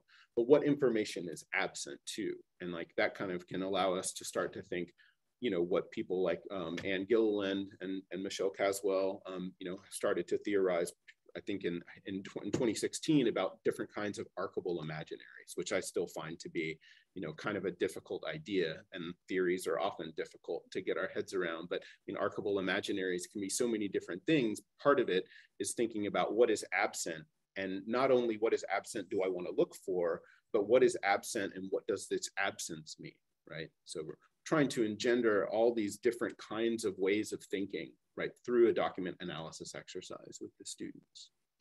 Um, you know, we do similar exercises. You know, we don't only teach with archival materials. We're a special collections library. We have a lot of beautiful and wonderful and, and fascinating books in our rare book collection in the North Carolina collection. So we do similar exercises with those, although we might um, kind of change that exercise a little bit to concentrate more on, you know, the physical aspects, on the materiality of the books. You know, what's its size, its paper quality, its font, its printing. Um, you know, who was the intended reader? You know, all those questions. And I'm, I'm, Liz already kind of went through some of our earlier versions before, but we can pull these different books. We can pull other related. You know, we could do this along with the Trudier Harris papers, you know, another version of Baldwin. I mean, this one, you know, I, I is, a, is a is a beautiful binding of the book, but it, you know, it has this kind of very tiny um, autograph of James Baldwin on one single page, and I guess that's its significance. Um, but you know, those are things that we can get students to think about and think critically about. You know, I, am you know, I wonder which one would you prefer to read? I, you know, I, I don't know. It's something I about. Um, um we also um, are teaching uh, covers a lot of different areas. We design learning modules for students to interact with, you know, so if we were gonna design, you know, people can, uh, like what I was just talking about, looking at the materiality of the book, judging a book by its cover. Um, we have lessons on scientific illustration and writing, rhetoric, World War I posters, documenting student activism. And these are learning modules that teachers can immediately access there's digitized materials embedded within them and lesson plans developed for them to, to particularly use in, in, in first year writing um, classes here at the university. Um, um, also thinking again, like how do students then go out of a class and then use these materials, right? And here's a couple of recent examples of students doing um, intensive work with archival collections to develop then other digital humanities projects. And the Mapping Karen Parker's Journal um, was a project led by Dr. Banu um, um, and uh, Lara Lookaball, um, a PhD student in geography, as well as, as our North Carolina research librarian, um, Sarah Carrier, um, to take an art, single archival object, Karen Parker's diary of her time as one of the first Black students, first Black woman undergraduate student at UNC Chapel Hill, and the diary that she kept here at that time, um, mapping that by finding other related archival materials as well as, as doing a, ArcGIS mapping project. LURC archive was somewhat similar by, by taking a single collection and thinking about um, a single collection of papers actually, but like writing and thinking about the history of the material objects documented in those papers of a, um, uh, um, a, a, a, French Jewish man named, um, uh, uh, oh gosh, I forgot his first name. George, um, George Lurcy, um, and, and his wife Alice, who was from High Point. And so the students, you know, use those digitized materials in the collection to think critically about them, put them in conversation with each other, and then create a new kind of work out of that. So that's, that's really the, the primary way that we work with students in the classroom. But as I said, you know, a, a, lot of the work we do as research librarians and a lot of the questions that we get about use um, come from researchers. And, you know, one of the ways that, um, um, one of the ways that it's a challenge sometimes. Um, um, you know, one of the most kind of nebulous interactions uh, in the libraries is trying to determine what a researcher needs, right? What are their goals? Like, what are they looking for? And I mean, I think about research and I think about reference really as a dialogue and consultation, right? You know, these people are, are, on a kind of their own research journey and they interact with me and like through conversation, we can perhaps get to that next step. Um, and you know, when I try to end that conversation, I'm trying to figure out, you know, where are they coming from? And this is where, when I was reading um, the Me and My House, um, uh, uh, she uses this kind of triad of concepts that she lays out to think about Baldwin's work and his house in particular. And she's talking about matter, material, and metaphor, and space, story, self. And on, on page 25, she starts talking about how you know these concepts function and this is a quote, as an animated rolling triangle with sometimes space, sometimes self, and sometimes story and attendant context appearing as a fulcrum. Thus demonstrating that, like identity and language, the politics of social space are socially constructed processes that are always in progress, progress and always have material consequences. And, and that, that led me to reflect on the, the reference consultation process. And really what often I'm trying to do is figure out where is the person trying to come in? Are they, is the fulcrum balanced on themselves? Are they most interested in their sort of like personal history or personal um, or family history or like personal like geography? Are they more interested in kind of the broader story and the context in which um, you know they or something else happened? And space is a little bit challenging when we come to this triad, but really what she's talking about when she's talking about space, she's talking about Baldwin's house, but she's talking and that that's that's analogous to matter, which is the physical object, which is an an object or object. So sometimes people are just coming to look at the objects, and so you know determining what those goals are of that individual completely changes the way that we navigate our systems, our, our search, and the and the way that we help them, and it completely changes um, the uh, the kinds of of, of um, the kinds of information that they may end up leaving with. And so, you know, continuing our research journey around finding Baldwin in the university, you know, kind of started with our initial search and turned up the Trudier Harris papers, you know, which had this limited um, folder in it. But you know, for me, that led me to another question. And then like, how can we find, you know, maybe we're not going to find Baldwin himself or his papers at UNC Chapel Hill, but we can think about um, what was his relationship to UNC Chapel Hill and how does that reflect possibly his relationship to the United States and possibly the American South. And then um, how does that you know reflect on the history of a primary white university um, primary white institution and how we have um, both taught and um, collected African American literature and culture over time. So you know back to the Trudier Harris papers, I found a talk that she gave in the in the in the process of of of um, of, of writing her Baldwin book. And, you know, it was interesting to me that she's talking about here in the first paragraph, um, how he, he rarely ever, he rarely went to the South, right? Um, um, and he's right talking about his book, uh, Just Above My Head, in which Black folks in Harlem and a few of them who travel to the South, to places like Richmond and Birmingham, they go with all the myths about geography associated with how outsiders view the South. And then she goes on in this talk to really talk about how you know, to not to talk about Baldwin as kind of a northern outsider who didn't really understand the South, and that's a reflection. That's how that's reflected in his literature. And so, I thought that was an interesting idea, particularly again thinking back to um, uh, um, uh, uh, me and my house, um, where um, she, uh, the, the author is, is, talking about how there was a lack of interest and a lack of scholarship involvement. And so, you know, I, Dr. Harris's work, you know, is somewhat of a, uh, um, a, counter to that because she was very interested and in working deeply in Baldwin at the time um, when um, uh, uh, the, the, the, other author is suggesting that no one was. So, you know, I, I then turned to a, a, an excellent resource, North Carolina Digital Heritage Center. Um, you know, newspapers can be a way for us to track, you know, interactions of, of people and places over time to search for Baldwin and his times in North Carolina. Um, I, unsurprised to to find um, a couple of things from the 1960s, and so you know this is sort of at the at the one at the early height of Baldwin's celebrity. Um, he came and, and spoke at North Carolina College um, in 1963. But you know, around that same time, um, and that was not at UNC Chapel Hill, although it was a, a brief advertisement in the Daily Tar Heel. In, um, in, in 1964, we see John Knowles, the writer of A Separate Peace, um, uh, UNC's writer in residence that year, and we see what he's commenting about Baldwin. And I'll let you read it in the top corner. Well, I think that James Baldwin is a perfect example of a shouting preacher. He rambles on and on as if he's going to release the final word on something, and then somehow the reader misses the point entirely. Now, I don't know if you have read Giovanni's Room and then a separate peace, but I have a preference um, between those two, and it's not John Knowles. Um, so, uh, yeah, that, that is the sort of the public impression, at least being presented at UNC Chapel Hill at that time. Um, you know, going on, um, seeing a, another article, the first article about um, uh, Blyden Jackson, Dr. Blyden Jackson, who was the first African American tenured professor at UNC Chapel Hill. And you know, this is the, the, the article celebrating his appointment. However, you know, just the the headline alone um, is extremely um, disturbing to, to me.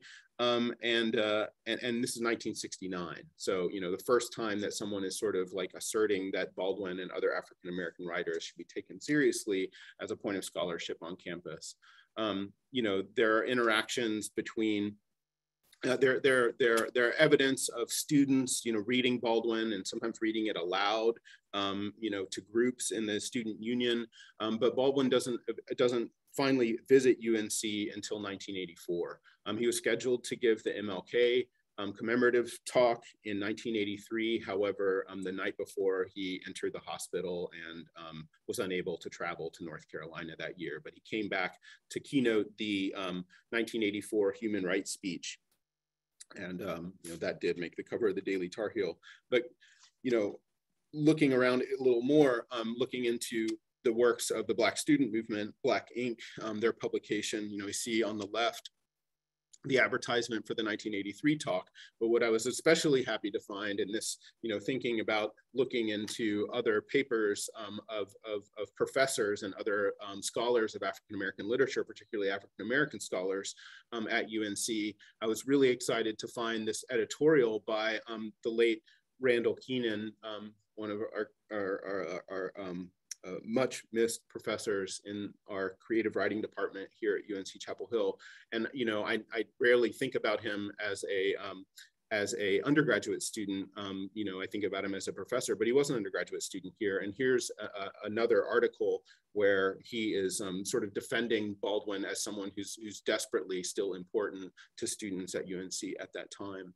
You know, we could possibly dig further into the Roberta H. Jackson and Blyden Jackson papers. Unfortunately, also minimal description in here, so not exactly sure where he may or may not turn up, um, or possibly an oral history interview. Um, you know, this is just kind of a very brief introduction into thinking about how we might uh, use the kind of tools available to us to find materials to then use our imaginations on how to use. And we'll be able to talk more about this and ask questions. Um, it's time for another break.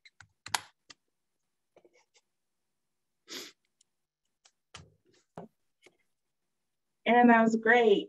Oh my goodness, I have so many questions to follow up with you on in the um, in the break. So uh, we want to give everybody a chance to grab a snack, um, and, and come back and, and have us um, kind of talk through some of the questions that these um, presentations surface for us and, um, and also share any of the questions that you have and uh, have, have a good discussion. Uh, thank you. So have a break. We'll be back at 11.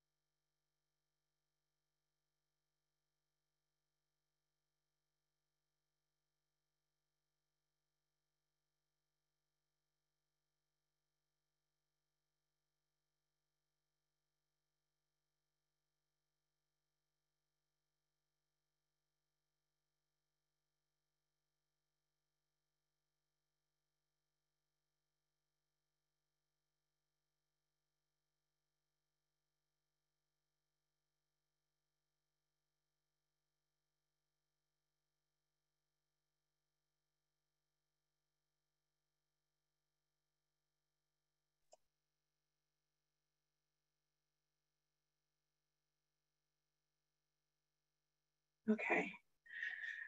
All right, it is officially 11 o'clock and I have the distinct pleasure of trying to um, pull together some of the threads from what we've been talking about all morning, um, offer my own reflections, and also ask some questions um, to the folks um, that presented ahead of us.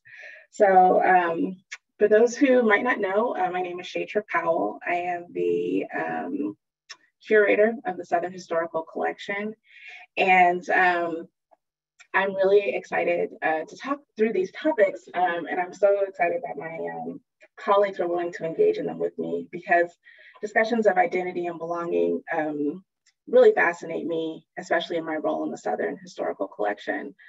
Um, I did want to take a minute before I jump into my thoughts and just talk about some of the highlights that I saw from the other presentations and um, you know especially for folks that are just joining us. And so to hear liz kind of reflect on the the ecosystem of special collections collection development and how our institutions and the legacies that we have can really impact the kinds of things that we can bring in um, everything from restricted endowments to um, you know our researchers and faculty members who sometimes have a distance from the um, sources that they're trying to describe.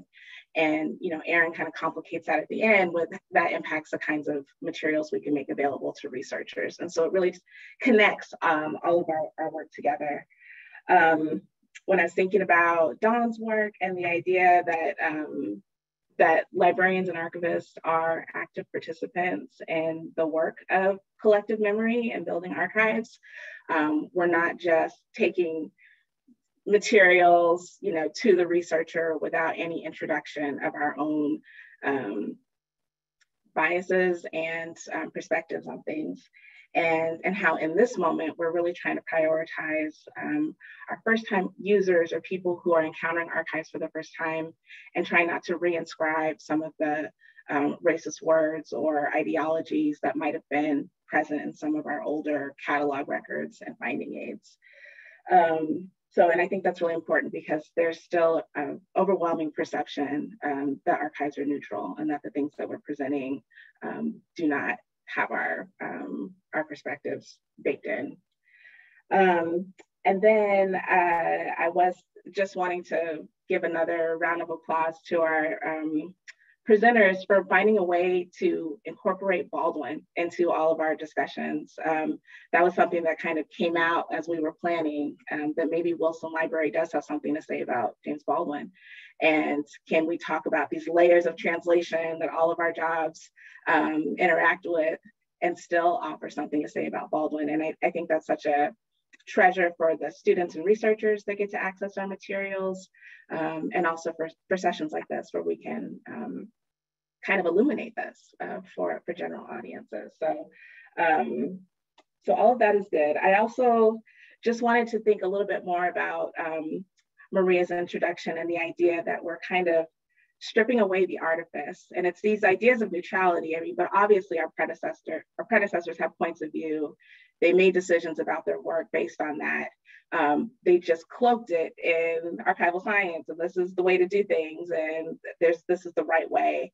And so for us to interrogate that and imagine, you know, what our experiences and our points of view have to say at this moment, put it in conversation and think about that for the, the next moment. Um, it's just a really um, important element of this moment in our field. Um, and this idea of getting closer to the truth that um, the more voices we include, the more perspectives we engage, um, the closer we'll get to um, describing our materials in a way um, that broader audiences can engage with. So, um, so I do want to read just a little bit of some remarks that I prepared just thinking about this topic. Um, and like I said, uh, you know, working in the Southern Historical Collection, a place that's 90 years old, and trying to understand um, how the records that were collected in the beginning can be reinterpreted and activated in ways that actually support uh, the voices and um, investigations into uh, new, new histories. Um, I think about the stories we tell about ourselves and what is our responsibility for building and describing collections that allow others to see themselves. Um, and when I think about belonging and identity, it's not just to talk about my experiences or to shame people for not including uh, me or others like me, but I really think it's a paradigm to consider the work of libraries and archives. So um, when I was thinking about the question, it made it instantly made me think of 2014 when the papers of literary juggernaut Toni Morrison were received by Princeton University. Um, and for folks who aren't, you know, steeped in the world of library science or um, or archives, they might wonder why this is controversial. Um, because she taught at Princeton for 27 years, they have access to, you know, archival resources. They'll care for the collections. The scholars will engage. Um, it seems like a done deal. But the complications really arose when the Moorland-Spingarn collection at Howard University offered itself as a plausible place for the collection. Now, um, you have to remember that Morrison was an alum of Howard University and a faculty member in the 1950s and 60s. Uh, her materials would be treasured by that faculty audience and local community who embraced her in her earliest years. And so, and that collection could have also been a catalyst for much needed investment in that historic library. And so we have to ask ourselves, why did Toni Morrison um, think her collection belonged there? And did the identity of the institution matter? And I think um, Liz's comments about the Octavia Butler papers have a similar parallel into um, where the papers go, but at what cost? And so in a Huffington Post article from um, October 2014 titled, Do Morrison's Papers Belong at Princeton or Howard? Journalist Chris Branch outlines the situation and cites Dr. Eddie Glaude, who's the chair of the African American Studies at Princeton University. And he says that he really wanted to interrogate the conception of community and Blackness that is making people so disappointed about the choice of Princeton and Howard. Now, he could be saying this because now he'll have easy access to these papers that are um, so valuable to his area of study um, and he, he writes about Black writers, Baldwin in a big way. Or he could have a key insight about the narrow ways that we interpret the role and function of identity in our society. And so oftentimes when I'm reading things, it pings me back to other things. And so this made me think about um, a book of essays I recently read. Um, it's called A Measure of Belonging, and it's uh, 21 writers of, co of color on the New American South. And it's a volume that's edited by uh, Cinelle Barnes and it's available at Epilogue bookstores. I literally found it while I was browsing a few months ago. And in the book, there's you know 21 essays. They have some really familiar names like uh, Kiese Laymon um, writes in it. Um, the woman who wrote Stankonia, gosh, I'm, her name is blanking on me. But uh, there were at least two that really helped me um, think about this complicated notion of identity. And in one essay, a writer named Aruni Kashyap, Kashyap, I think, um, in her essay titled, are you, a, are you a Muslim? And other questions landlords ask me. She talks about um, house shopping in Athens, Georgia, and someone asking her if she's a, a Muslim.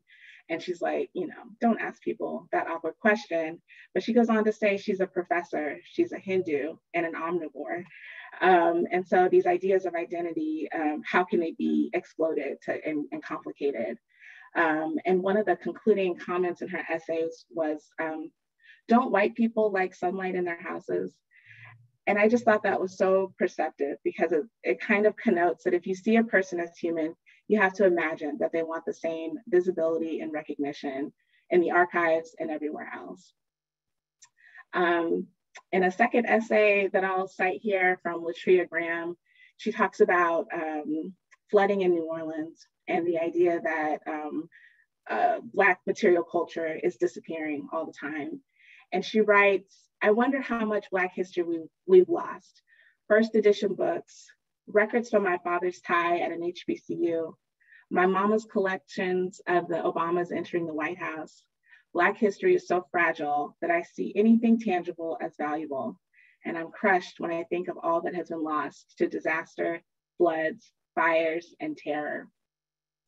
And this was another um, kind of quote that makes me, it'll kind of lead to a question that I have for the panel where it's just, you know, how much is lost and how much do we worry about that? And what do we do um, with those notions since it is, you know, our primary responsibility to collect these items?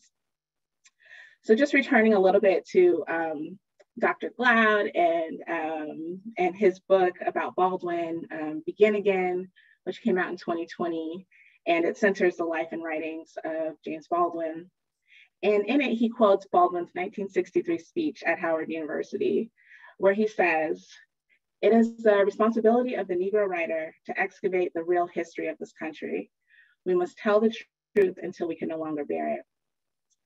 And I was thinking, you know, how identity is, is um, rolled up into this quote and also place, um, whether it's this country or Howard University. And it made me think that between, you know, he's identifying himself as a Negro writer, he's talking at Howard University, surely he can find a place here in America. Um, but as so many writers, including our guest of honor, um, well, not today, but the woman that we're referring to, uh, Dr. Zaborowska, um, she's exploring Baldwin's expatriate life. And we know that he struggles to find a place to rest or a place to escape in this country. And we have to ask ourselves why. And I think there's very tangible, and it's always this negotiation between these very tangible realities. And when we can talk about the endowments of Howard University versus the endowments of UNC Chapel Hill and try to understand what's happening here. Um, we could talk about some very you know, specific material realities um, and how do we interpret those things? Um, who do we um, engage to help us understand them?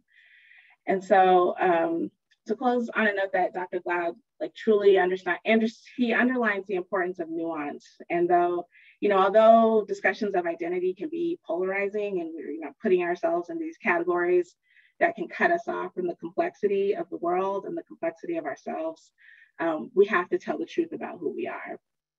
And I would argue that that note pertains to the individual as well as the institutions that we support. And so, um, you know, navigating that line is a big part of what we're trying um, to talk about with this discussion, um, but also what we're doing every day in the library. So um, with that, I will engage my colleagues here and some of some um, just important takeaways I thought uh, it would be good to hear from them on. And so the first one is about fingerprints. You know, normally in uh, library science, we um, we talk about how we do not want our fingerprints on items, and I mean fingerprints kind of metaphorically. And so, when you think about your approach to the work, can you each kind of talk about what makes um, your approach different than maybe your predecessors or your peers? Um, Liz, do you want to go first? Sure. Um, maybe in the same vein of like this um, acknowledgement of the non-neutrality of libraries, I um, am a, a, big proponent of um, taking a lot of ownership over the fact that decisions that I make are based on my particular background and that uh, you know i'm making selections and choices based on the information that i have and i have access to so I'm kind of not afraid of leaving my fingerprints on stuff. I sort of assume that I will. And I hope that by being aware of that, I'm better able to be aware of my own biases and understand when it's time for me to step away from um, my own expertise and bring in the voices of others um, to inform how I'm making selections and how I'm making choices that impact my work. Um, something that I think about all the time um, is uh, it's actually something that I read in an article by an archivist named Alana Kumbier um, about public services. And uh, they say, um, you know, from the point of view of a, of a patron at the library, the difference between um, the library doesn't have what I'm looking for, I can't find what I'm looking for, and what I'm looking for just doesn't exist in any physical or material sense at this library or anywhere is often invisible. That from a patron's perspective, if they don't find what they're looking for, a lot of times they just assume it, it isn't there. And um, that's always at the forefront of my mind is sort of like, you know, how can I provide a there for someone who's coming to the library, despite the fact that, you know, as I kind of mentioned in my presentation, I do think that there are ways that we have to scope our work and be honest about how the legacies of our collecting maybe disqualify us from being stewards of certain types of materials now, and that we have to be sensitive to um, what it means to be in our library space or be part of our collections and what the context of our collections has been and what it will be in, in the future and who our communities are.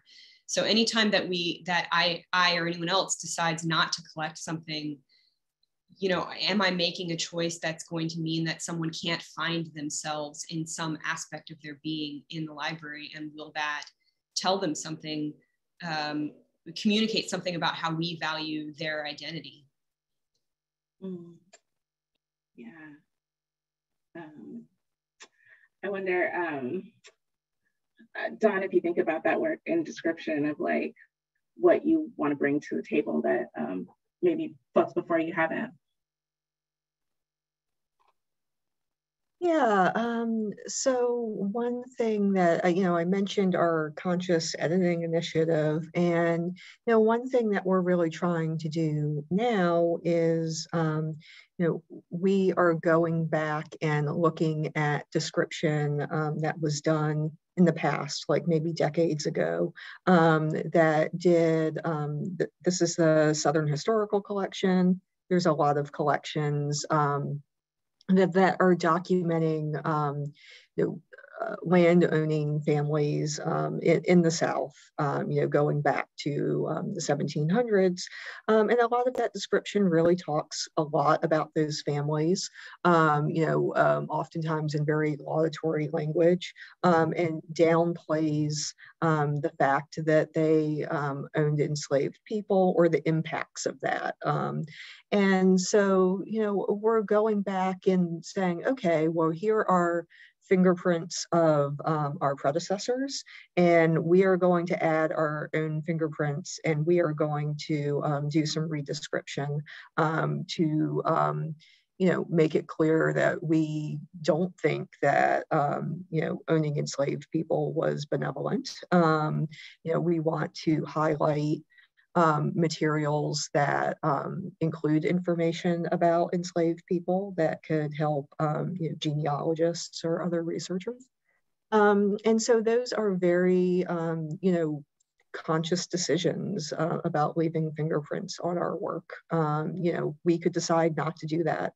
Someone 30 years from now could come behind me and my colleagues and make different decisions about the work that we've made. Um, so uh, the future us.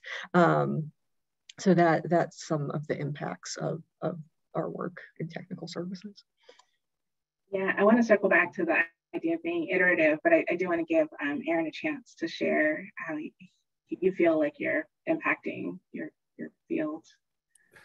Um, yeah, I, I mean, I, I think that one of the real challenges is um, uh, you know, there's been a there's been a, a major shift in in in in people's understanding, the general public's understanding of archives and what their and their availability, right? And and it's very different to work with different kinds of publics than it is academics. And you know, traditionally Wilson like was mostly working with academics, mm-hmm. and you know, so the research questions, you know, um, that people ask sometimes require kind of more research than we're able to put into it, right? Um, and that varies a lot you know like liz was saying like kind of where we are in our in our own personal lives and and and and, and available resources like that week right? Like how much time do i have to spend on a research question? And we try to do this equitably right? We don't want to give certain researchers like more time or more effort than others but sometimes things is more discoverable than other times and it just results in like a more robust response. And i really worry about things like that right? Um, because like basically i'm making those decisions for those people I'm making the decisions about what's relevant and significant for them, even though I try to be expansive about that and be like, here's an entire folder, maybe you want to look through. But I mean, like, ultimately, I'm making those choices, you know, in the similar way that a curator's doing. And, and I, I think that's a problem. And I try to be honest about that. But the reality is, is that people can't, a lot of people can't come here. They mm-hmm. can't visit. They're too far away there's a limit to what's possible there. So that's one way. I also am really worried about, you know, the access to digital collections and how that results in repetition of materials being used over and over again in in, in, in documentary projects and books, you know, we're kind of reusing the same evidence as opposed to actually going deep into those collections through research and, and imagining what else is possible or really exploring those kinds of archival imaginaries that people like Anne Gilliland and Michelle Caswell and others, Safiya Noble, are also all talking about. Um, you know, so I mean, I, coming from folklore as a background, um, you know, I, one of the things that was challenging in my education was just you know really kind of an understanding of different kinds of values right? Like understanding other values as valid and real right? I mean it seems simple like we all kind of say that we do that but it's really hard when we're thinking about like people's belief systems right? Mm. and um, so i mean I, I, try to think about that when people are asking me i try to th- I'm getting way off topic now. Mm-hmm. Um, the challenge of like authenticity in current archival studies, right? That's another kind of shift in archival studies is right. Off the, the kind of idea that authenticity or the provenance of an object is what gives it its power. Mm. And like we're challenging that in many ways now. And so like I think I try to use kind of my training in folklore to like make that very, very applicable as I'm thinking about these other kinds of challenges that I was just talking about.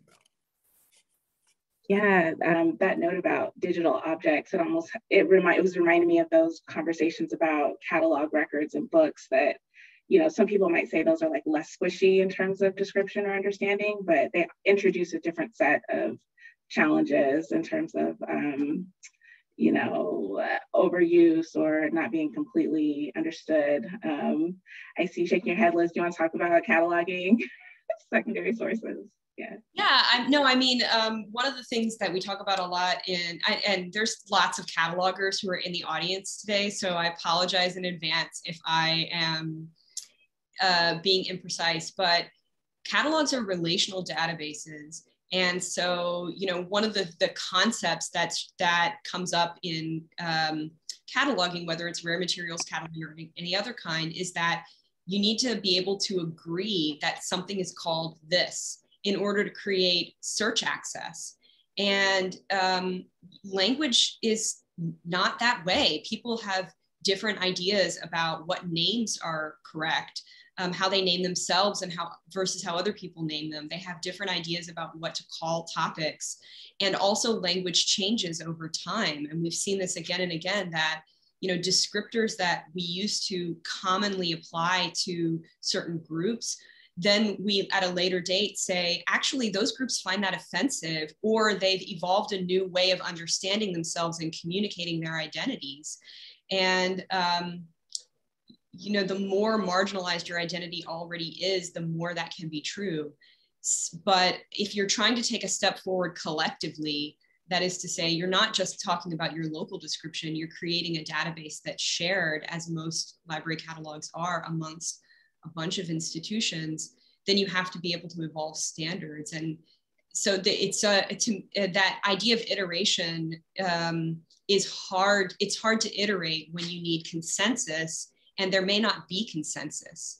So there's, there's a lot of stickiness, I think, in catalogs and what they do. And um, it's it's not a new problem. And it, it in fact you know uh, i mentioned in my talk dorothy porter wesley you know, she was one of the earliest people to um, speak publicly and write about how classification systems in libraries were um, problematic and demeaning for black writers. You know, she pointed out that the dewey decimal system only had basically two categories for all of black culture and one of them is slavery and the other is um, I couldn't I can't remember off the top of my head, but basically like if you weren't talking about slavery, you couldn't talk about Black people.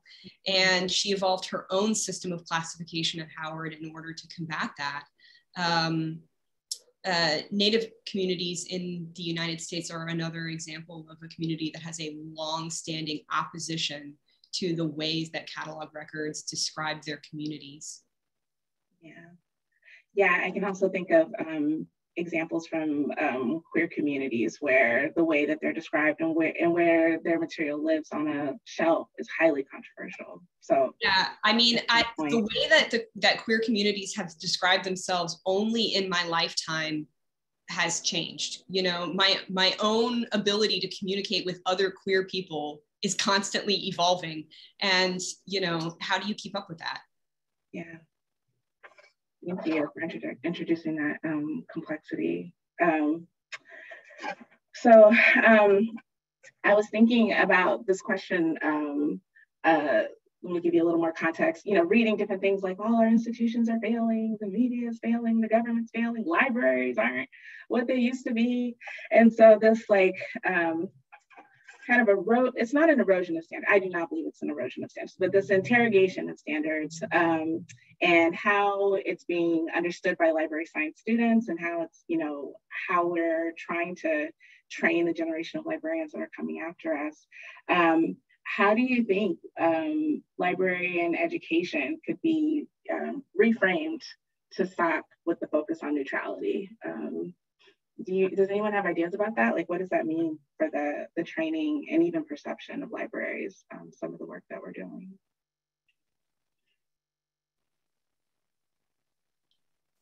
I feel like um, especially a burden to respond to this because I do teach a semester long course in the library school here at UNC.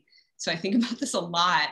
Um, and uh, I think that it's about revision maybe to go back to this concept of iteration, but um, maybe this is like my ethos in general as a librarian and as a human being, but you have to make choices. You have to make the best choice with the information you have, and you have to be willing and humble enough to say, the way that I have thought about and done this in the past is, is different, or my um, understanding evolves, and be willing to go back, um, not just and change your um, approach or actions, but go back to the drawing board completely and um, throw out your assumptions and reimagine. Um, I've been doing that a lot basically since COVID. I think that COVID really actually provided me with a lot of space to step back from my work and say, like, what are the things that I've always assumed are the place to start? And how does the place that I start when I'm teaching um, kind of set up a set of values that maybe are unexamined by me and how can i start somewhere different how can i frame the conversation so that um, you know i'm not approaching things in this tokenizing way of like and also this happened but instead really radically rethinking what it means to talk about information and knowledge and culture um, and the ways that librarians and archivists um, interact with those concepts yeah, that's a great point. On a similar note, I'm wondering how we get better. Like, what are our strategies for trying to do our work better? Um, I don't know, Dawne, if you have any thoughts on that.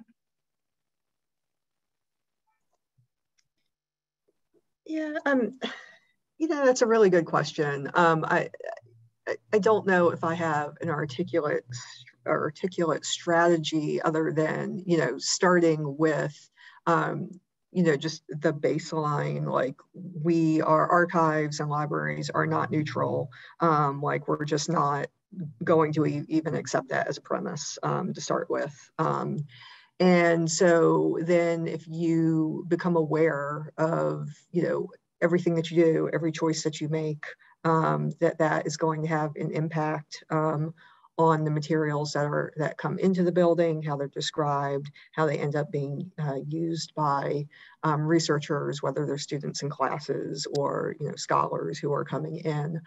Um, so I don't know if, if um, you know, just acknowledging that, um, you know, we're, that we're just going to throw out this whole concept of being neutral, um, you know, if that's, if that's a strategy, um, then, then I, I think that's where we should start. That should just be established at the very beginning um, that, that, you know, we're not, you know, this passive neutral institution that's just, you know, handing over books and boxes of materials to researchers.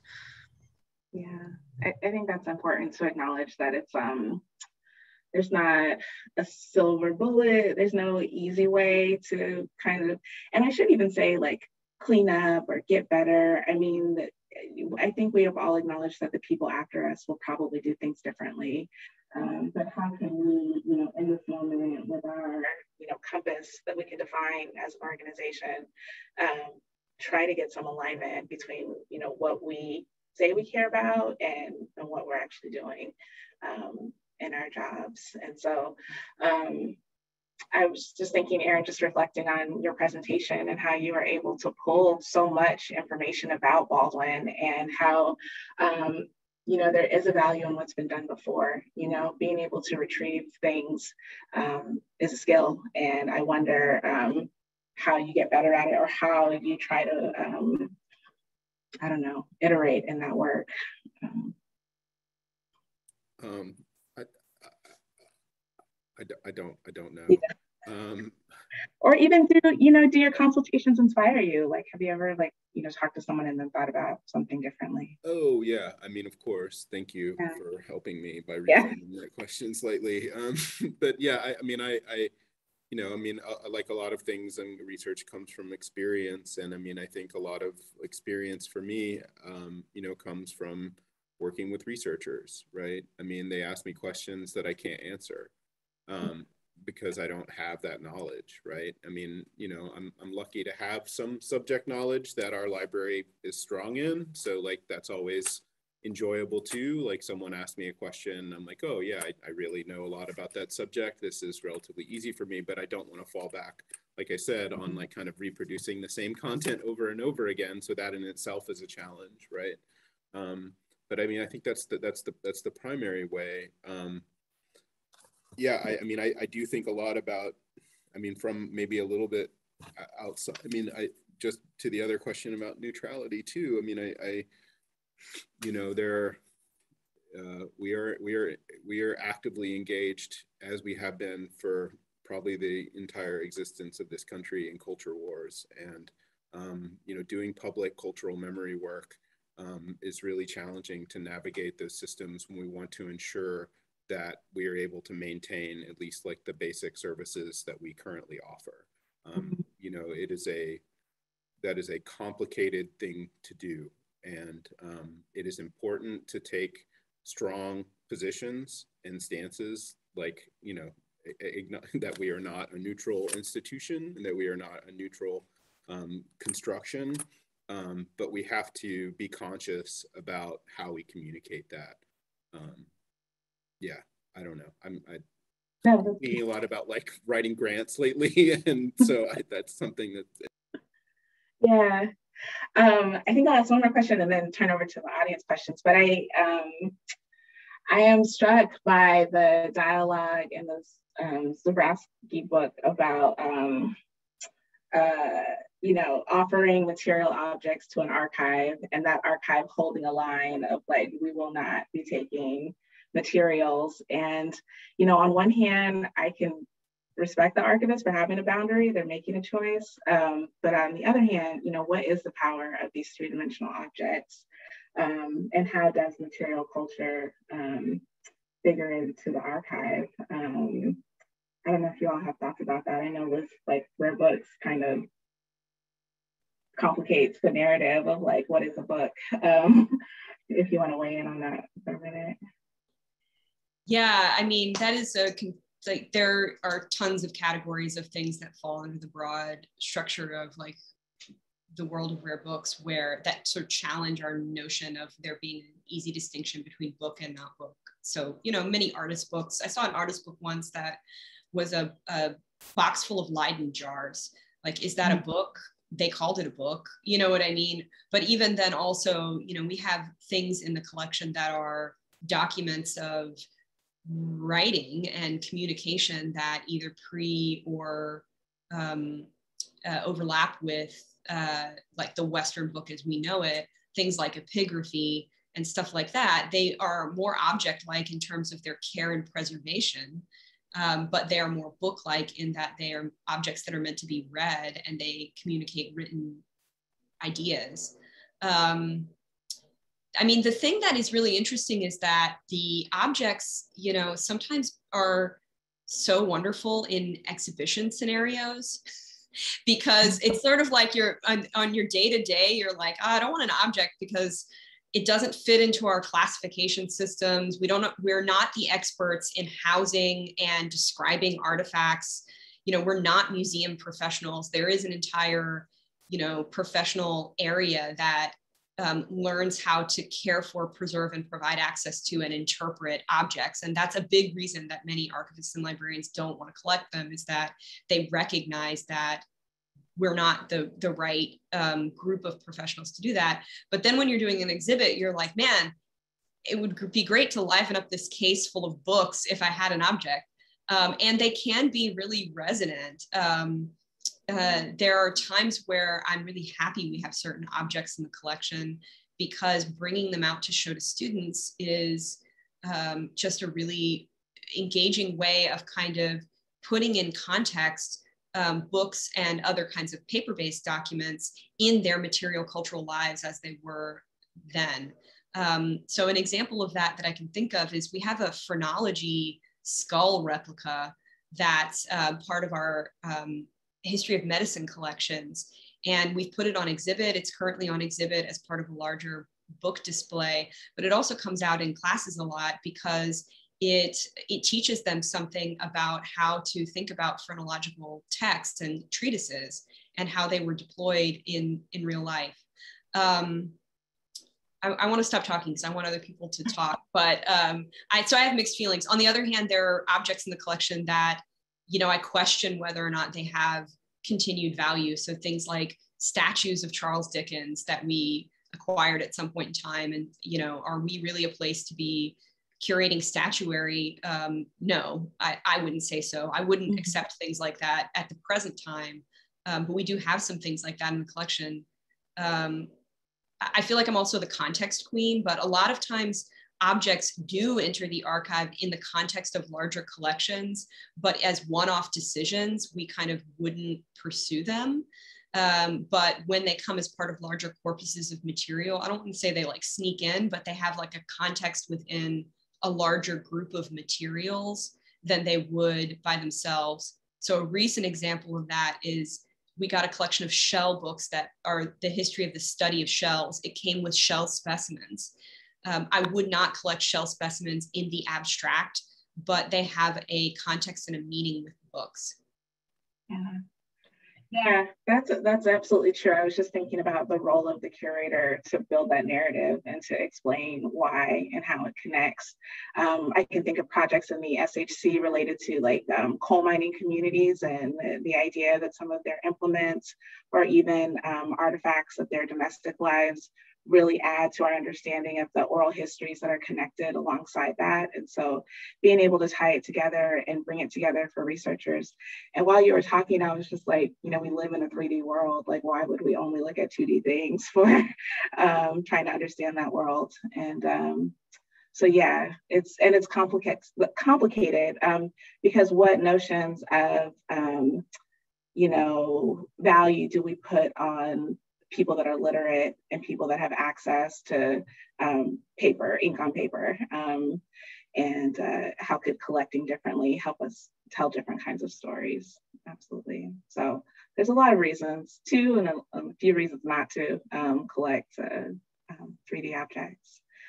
Um, I want to pivot a little bit and let um, a couple of people um, from the audience maybe jump in to um, articulate their question. And um, actually, I just want to ask Pat Parker if she's open to being spotlit and to kind of uh, transition us into the Q&A portion. Um, sure. Okay. Do that. Can you hear me okay? Yeah. Yes. Well, first I, I want to say, um, yes, I'm, I'm, Pat Parker. I'm director of the Institute for the Arts and Humanities, um, where we will be hosting Dr. Magdalena Zaborowska, who's a Baldwin Scholar, and she's going to uh, deliver the um, 2022 um, Reckford Lecture. And uh, so thank you to uh, Dr. Maria Estorino and to you, Chaitra, uh, and all the presenters for doing such an excellent uh, workshop. This has just been wonderful. And the three hours went by so quickly. I was thinking a three hour workshop, really? and yes, really, it was, it's fantastic. So thank you. Um, so my, I had um, really one question and a comment. I put, put them both in the chat. Uh, the first one is to Dawne. Um, you know, thank you for your excellent presentation. And um, when you got to the part where you started to talk about the, the decision-making process for uh, removing harmful language from the finding aids. I, I found that really fascinating and so um, relevant to discussions in, you know, the current public discourse around censorship efforts.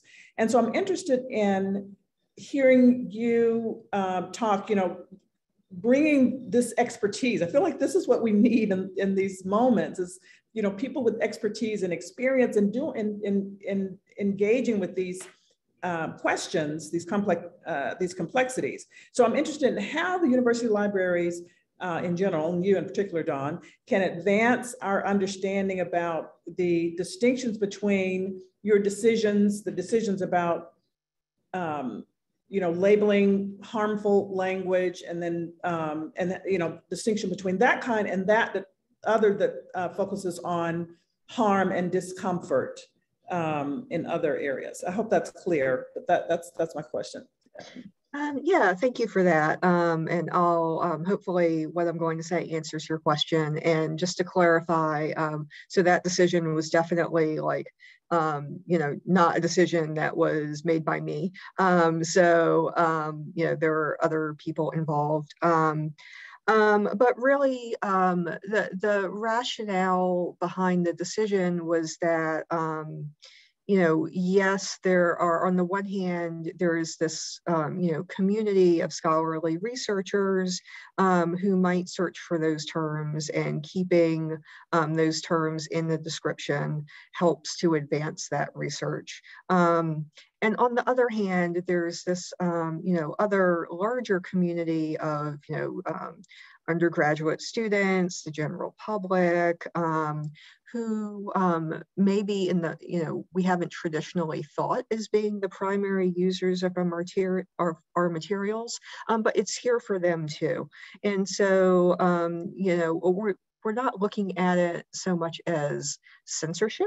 Um, but as more, um, you know, if you are an, um, an undergraduate student, um, you know, in their first year and you encounter um, descriptions of our materials um, that have these racist terms in them, um, you know, maybe you don't decide to engage with those materials at all um, because you've just been turned off by this altogether. Um, so it's really, um, you know, we're, I think we're looking at, I, I don't know if trade-off is really the correct term, but, you know, this might make things a little more difficult for the scholarly researchers. Um, um, but will potentially open things up and provide more access um, to other audiences who we haven't traditionally seen as being our primary audience. And uh, does that answer your question?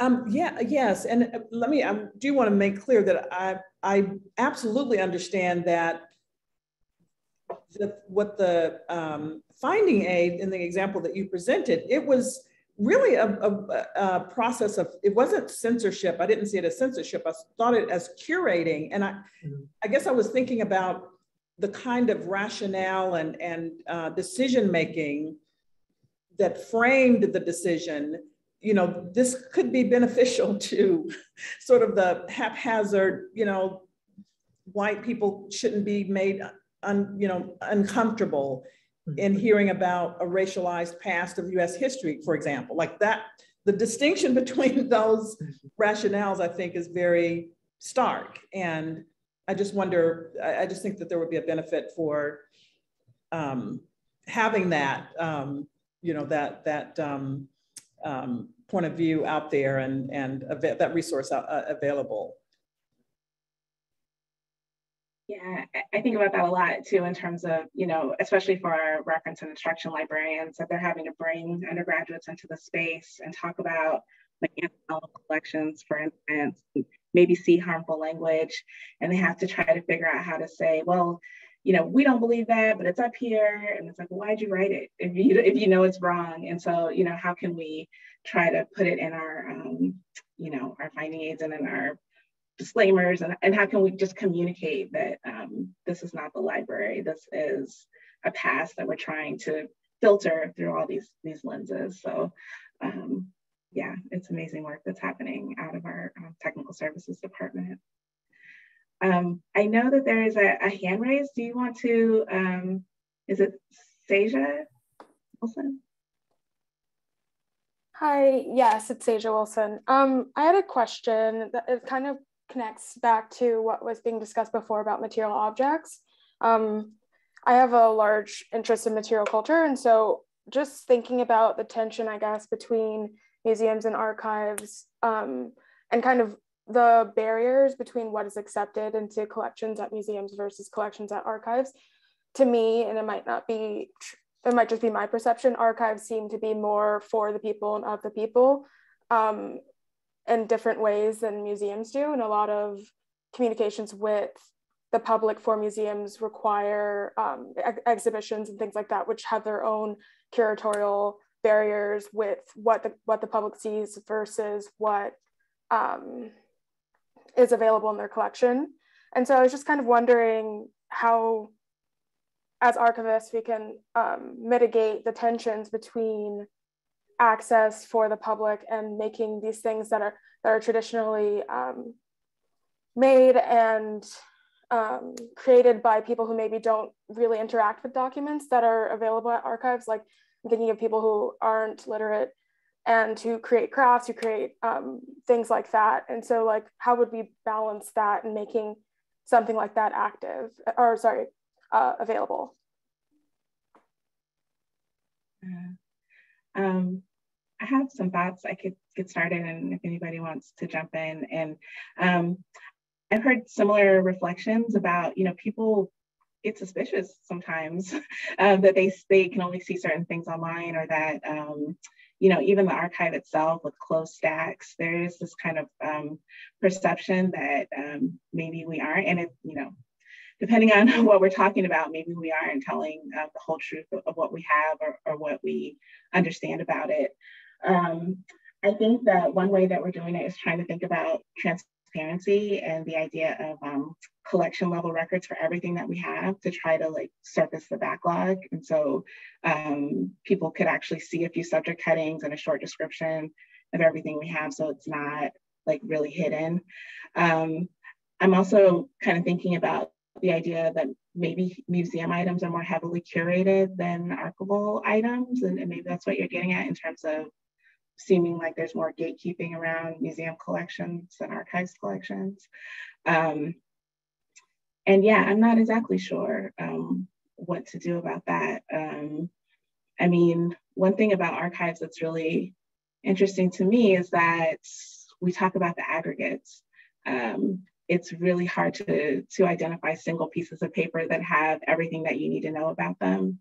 And so, you know, trying to empower communities and, and people that want to access archives to understand um, the distinction that, you know, it's kind of more about the aggregate of your materials that are getting at a point rather than, you know, individual items um, that say something. So I don't know. I think it, it's in language and it's in access um, that there might be some some strategies uh, to your to your question.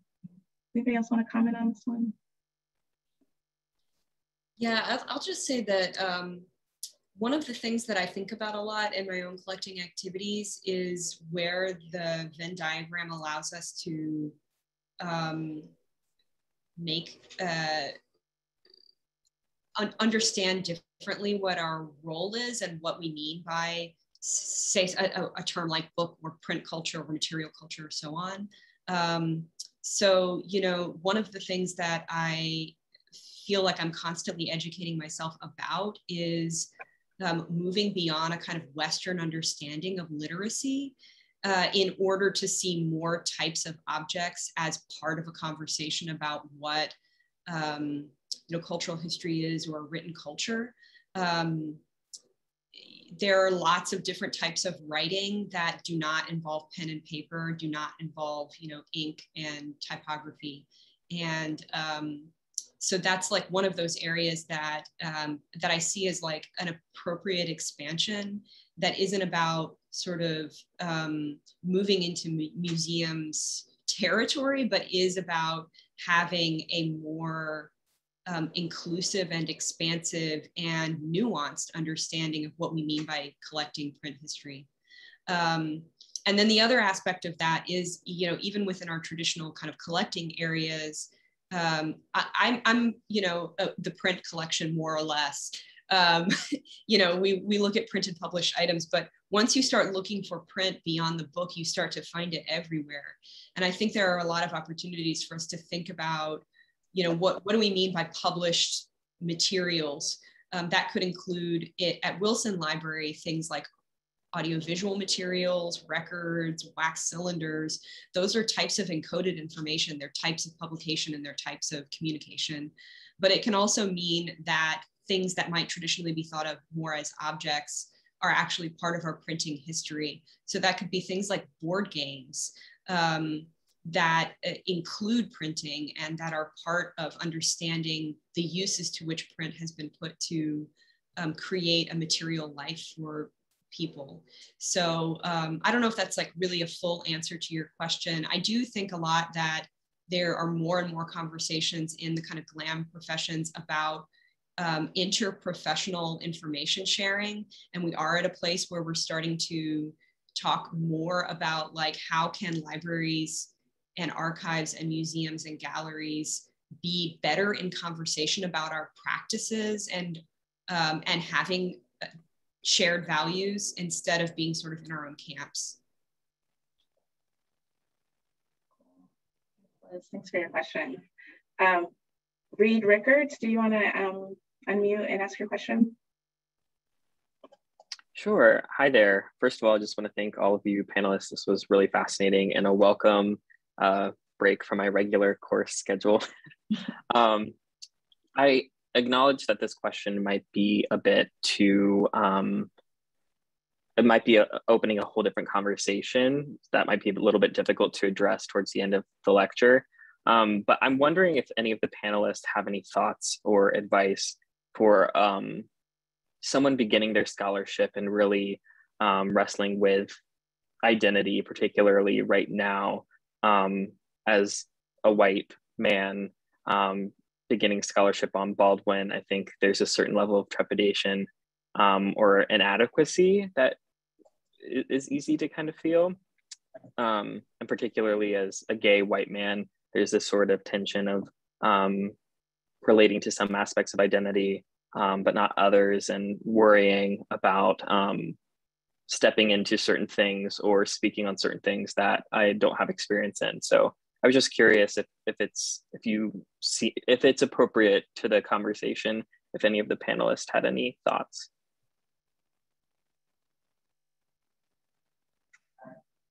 Man, okay. um, I'll start. I mean, I, I do think that uh, there are important parallels to what you described and what we're trying to do in the libraries. Um, and, you know, me and Maria talked about this a lot, like that tension between being of a community and trying to be an archivist for that community and um, and that it's not easier in any sense. And so I think that that idea of um, kind of cultural humility and trying to understand um, the nuances of the culture that you're exploring um, is important. And it also makes me think about the way that we put identity in the finding aid records, where we say this white scholar was studying this Black community and how it makes some people uncomfortable, but it really helps us have more of an understanding of what this collection is saying. And, and I, uh, I really resist the, um, the knee-jerk reaction to say that this white scholar is completely outside of that community. Maybe there are ways that they overlap that are very authentic um, and it'll show up in the way the collection. So it's not an automatic like observer, you know, um, exploitive activity. It's just an acknowledgement that, you know, a little sign of caution, this is what's happening here and now try to interpret it. So um, I think transparency and humility are probably big, um, I don't know, guiding words as you start your scholarship, but I don't know if others, I mean, this is like core, like how do you um, engage with materials um, that are different or the same as yours? How do you navigate that? I mean, this is maybe not helpful overall, but I mean, you know, I, I again, I was struck by um, Dr. Harris's kind of early scholarship that she was presenting in that paper, which was sort of, you know, presenting on Baldwin as an outsider to this to the Southern African American experience, right? Um, so I mean, I, you know, that's just to suggest that there's all many different ways to think about identity. And I mean, you know, I, I I'm not a Baldwin scholar, but read a number of his books and you know reading a little bit of Zaborowska's book, Dr. Zaborowska's book too, just thinking about you know a lot of his own personal experience was uh, and, and, and writing was about contesting what it meant to be an American, right? And and and how you know, navigating and imagining what a what it what it could be, what it actually could have been for him to be an American, and that opportunity was just denied, not just him, but countless other individuals. And so, you know, he's already grappling kind of with that question in a way that I think opens up an opportunity. Um, uh, yeah, I, I mean, and and I was reading a little bit of I was trying to think about just other ways to think about the uh, objects and thinking about the house and and there's I'm, I'm totally gonna bomb this other name but it's, it's like the uh, Spivak uh, was is a, is a is a literary theorist, I think, and he was. Gayatri Spivak. What's that? Gayatri Spivak. Yeah, that's it. Um, I mean, I don't know anything about them either, um, but he was quoting quoting LaCapra about fetishizing the archives, and I mean that's something that I think about a lot because like I'm a collector myself. Like my wife and I both like collect books and records, and so like and and like that's probably one of the main reasons why I kind of eventually ended up in this field was somewhat like my fetishization of old things, right? And I'm like constantly kind of battling with that as well. And I think that you know recognizing that and thinking about it and being critical of it as you're approaching archival research into Baldwin um, can kind of help also navigate that that that challenging uh, kind of chasm that you're that you're thinking about. I mean, you're being critical of it already. That seems important.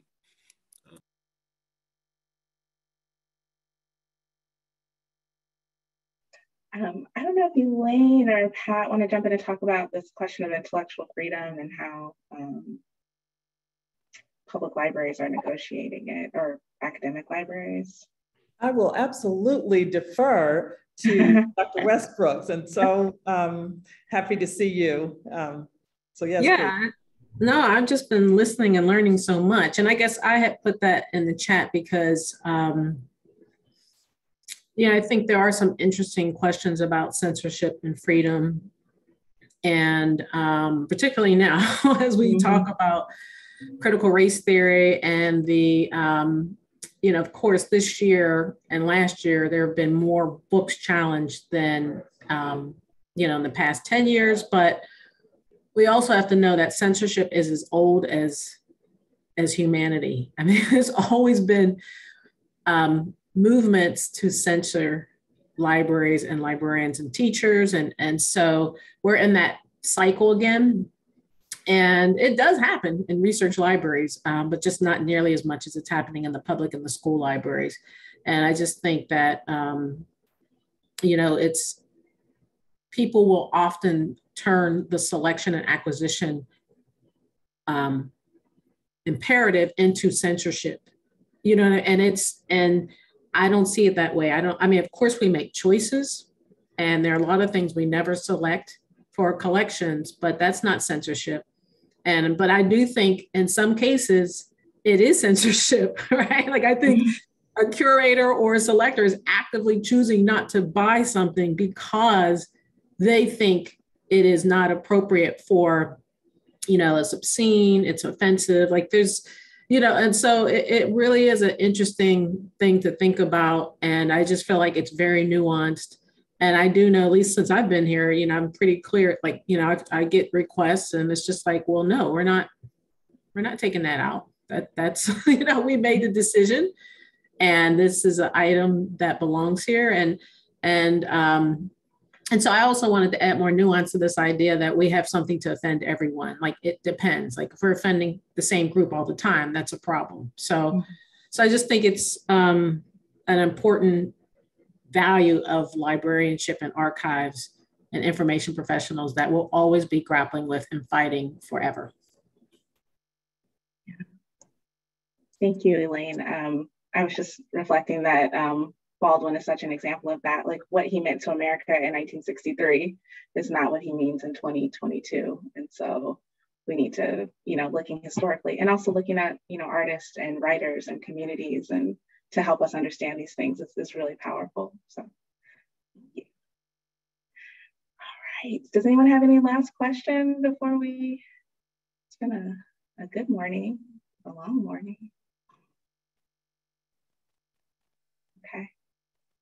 Okay, well, I've been told this has been recorded, and so if you missed any parts of it, you can find it, the library's website. Um, we're going to look forward to Dr. Zabroska, if you pronounce her names wrong, um, lecture in a couple weeks, and we are all in Wilson Library if y'all are able to come visit us and, and check out the collections. So with that, I will close out. Thank you so much.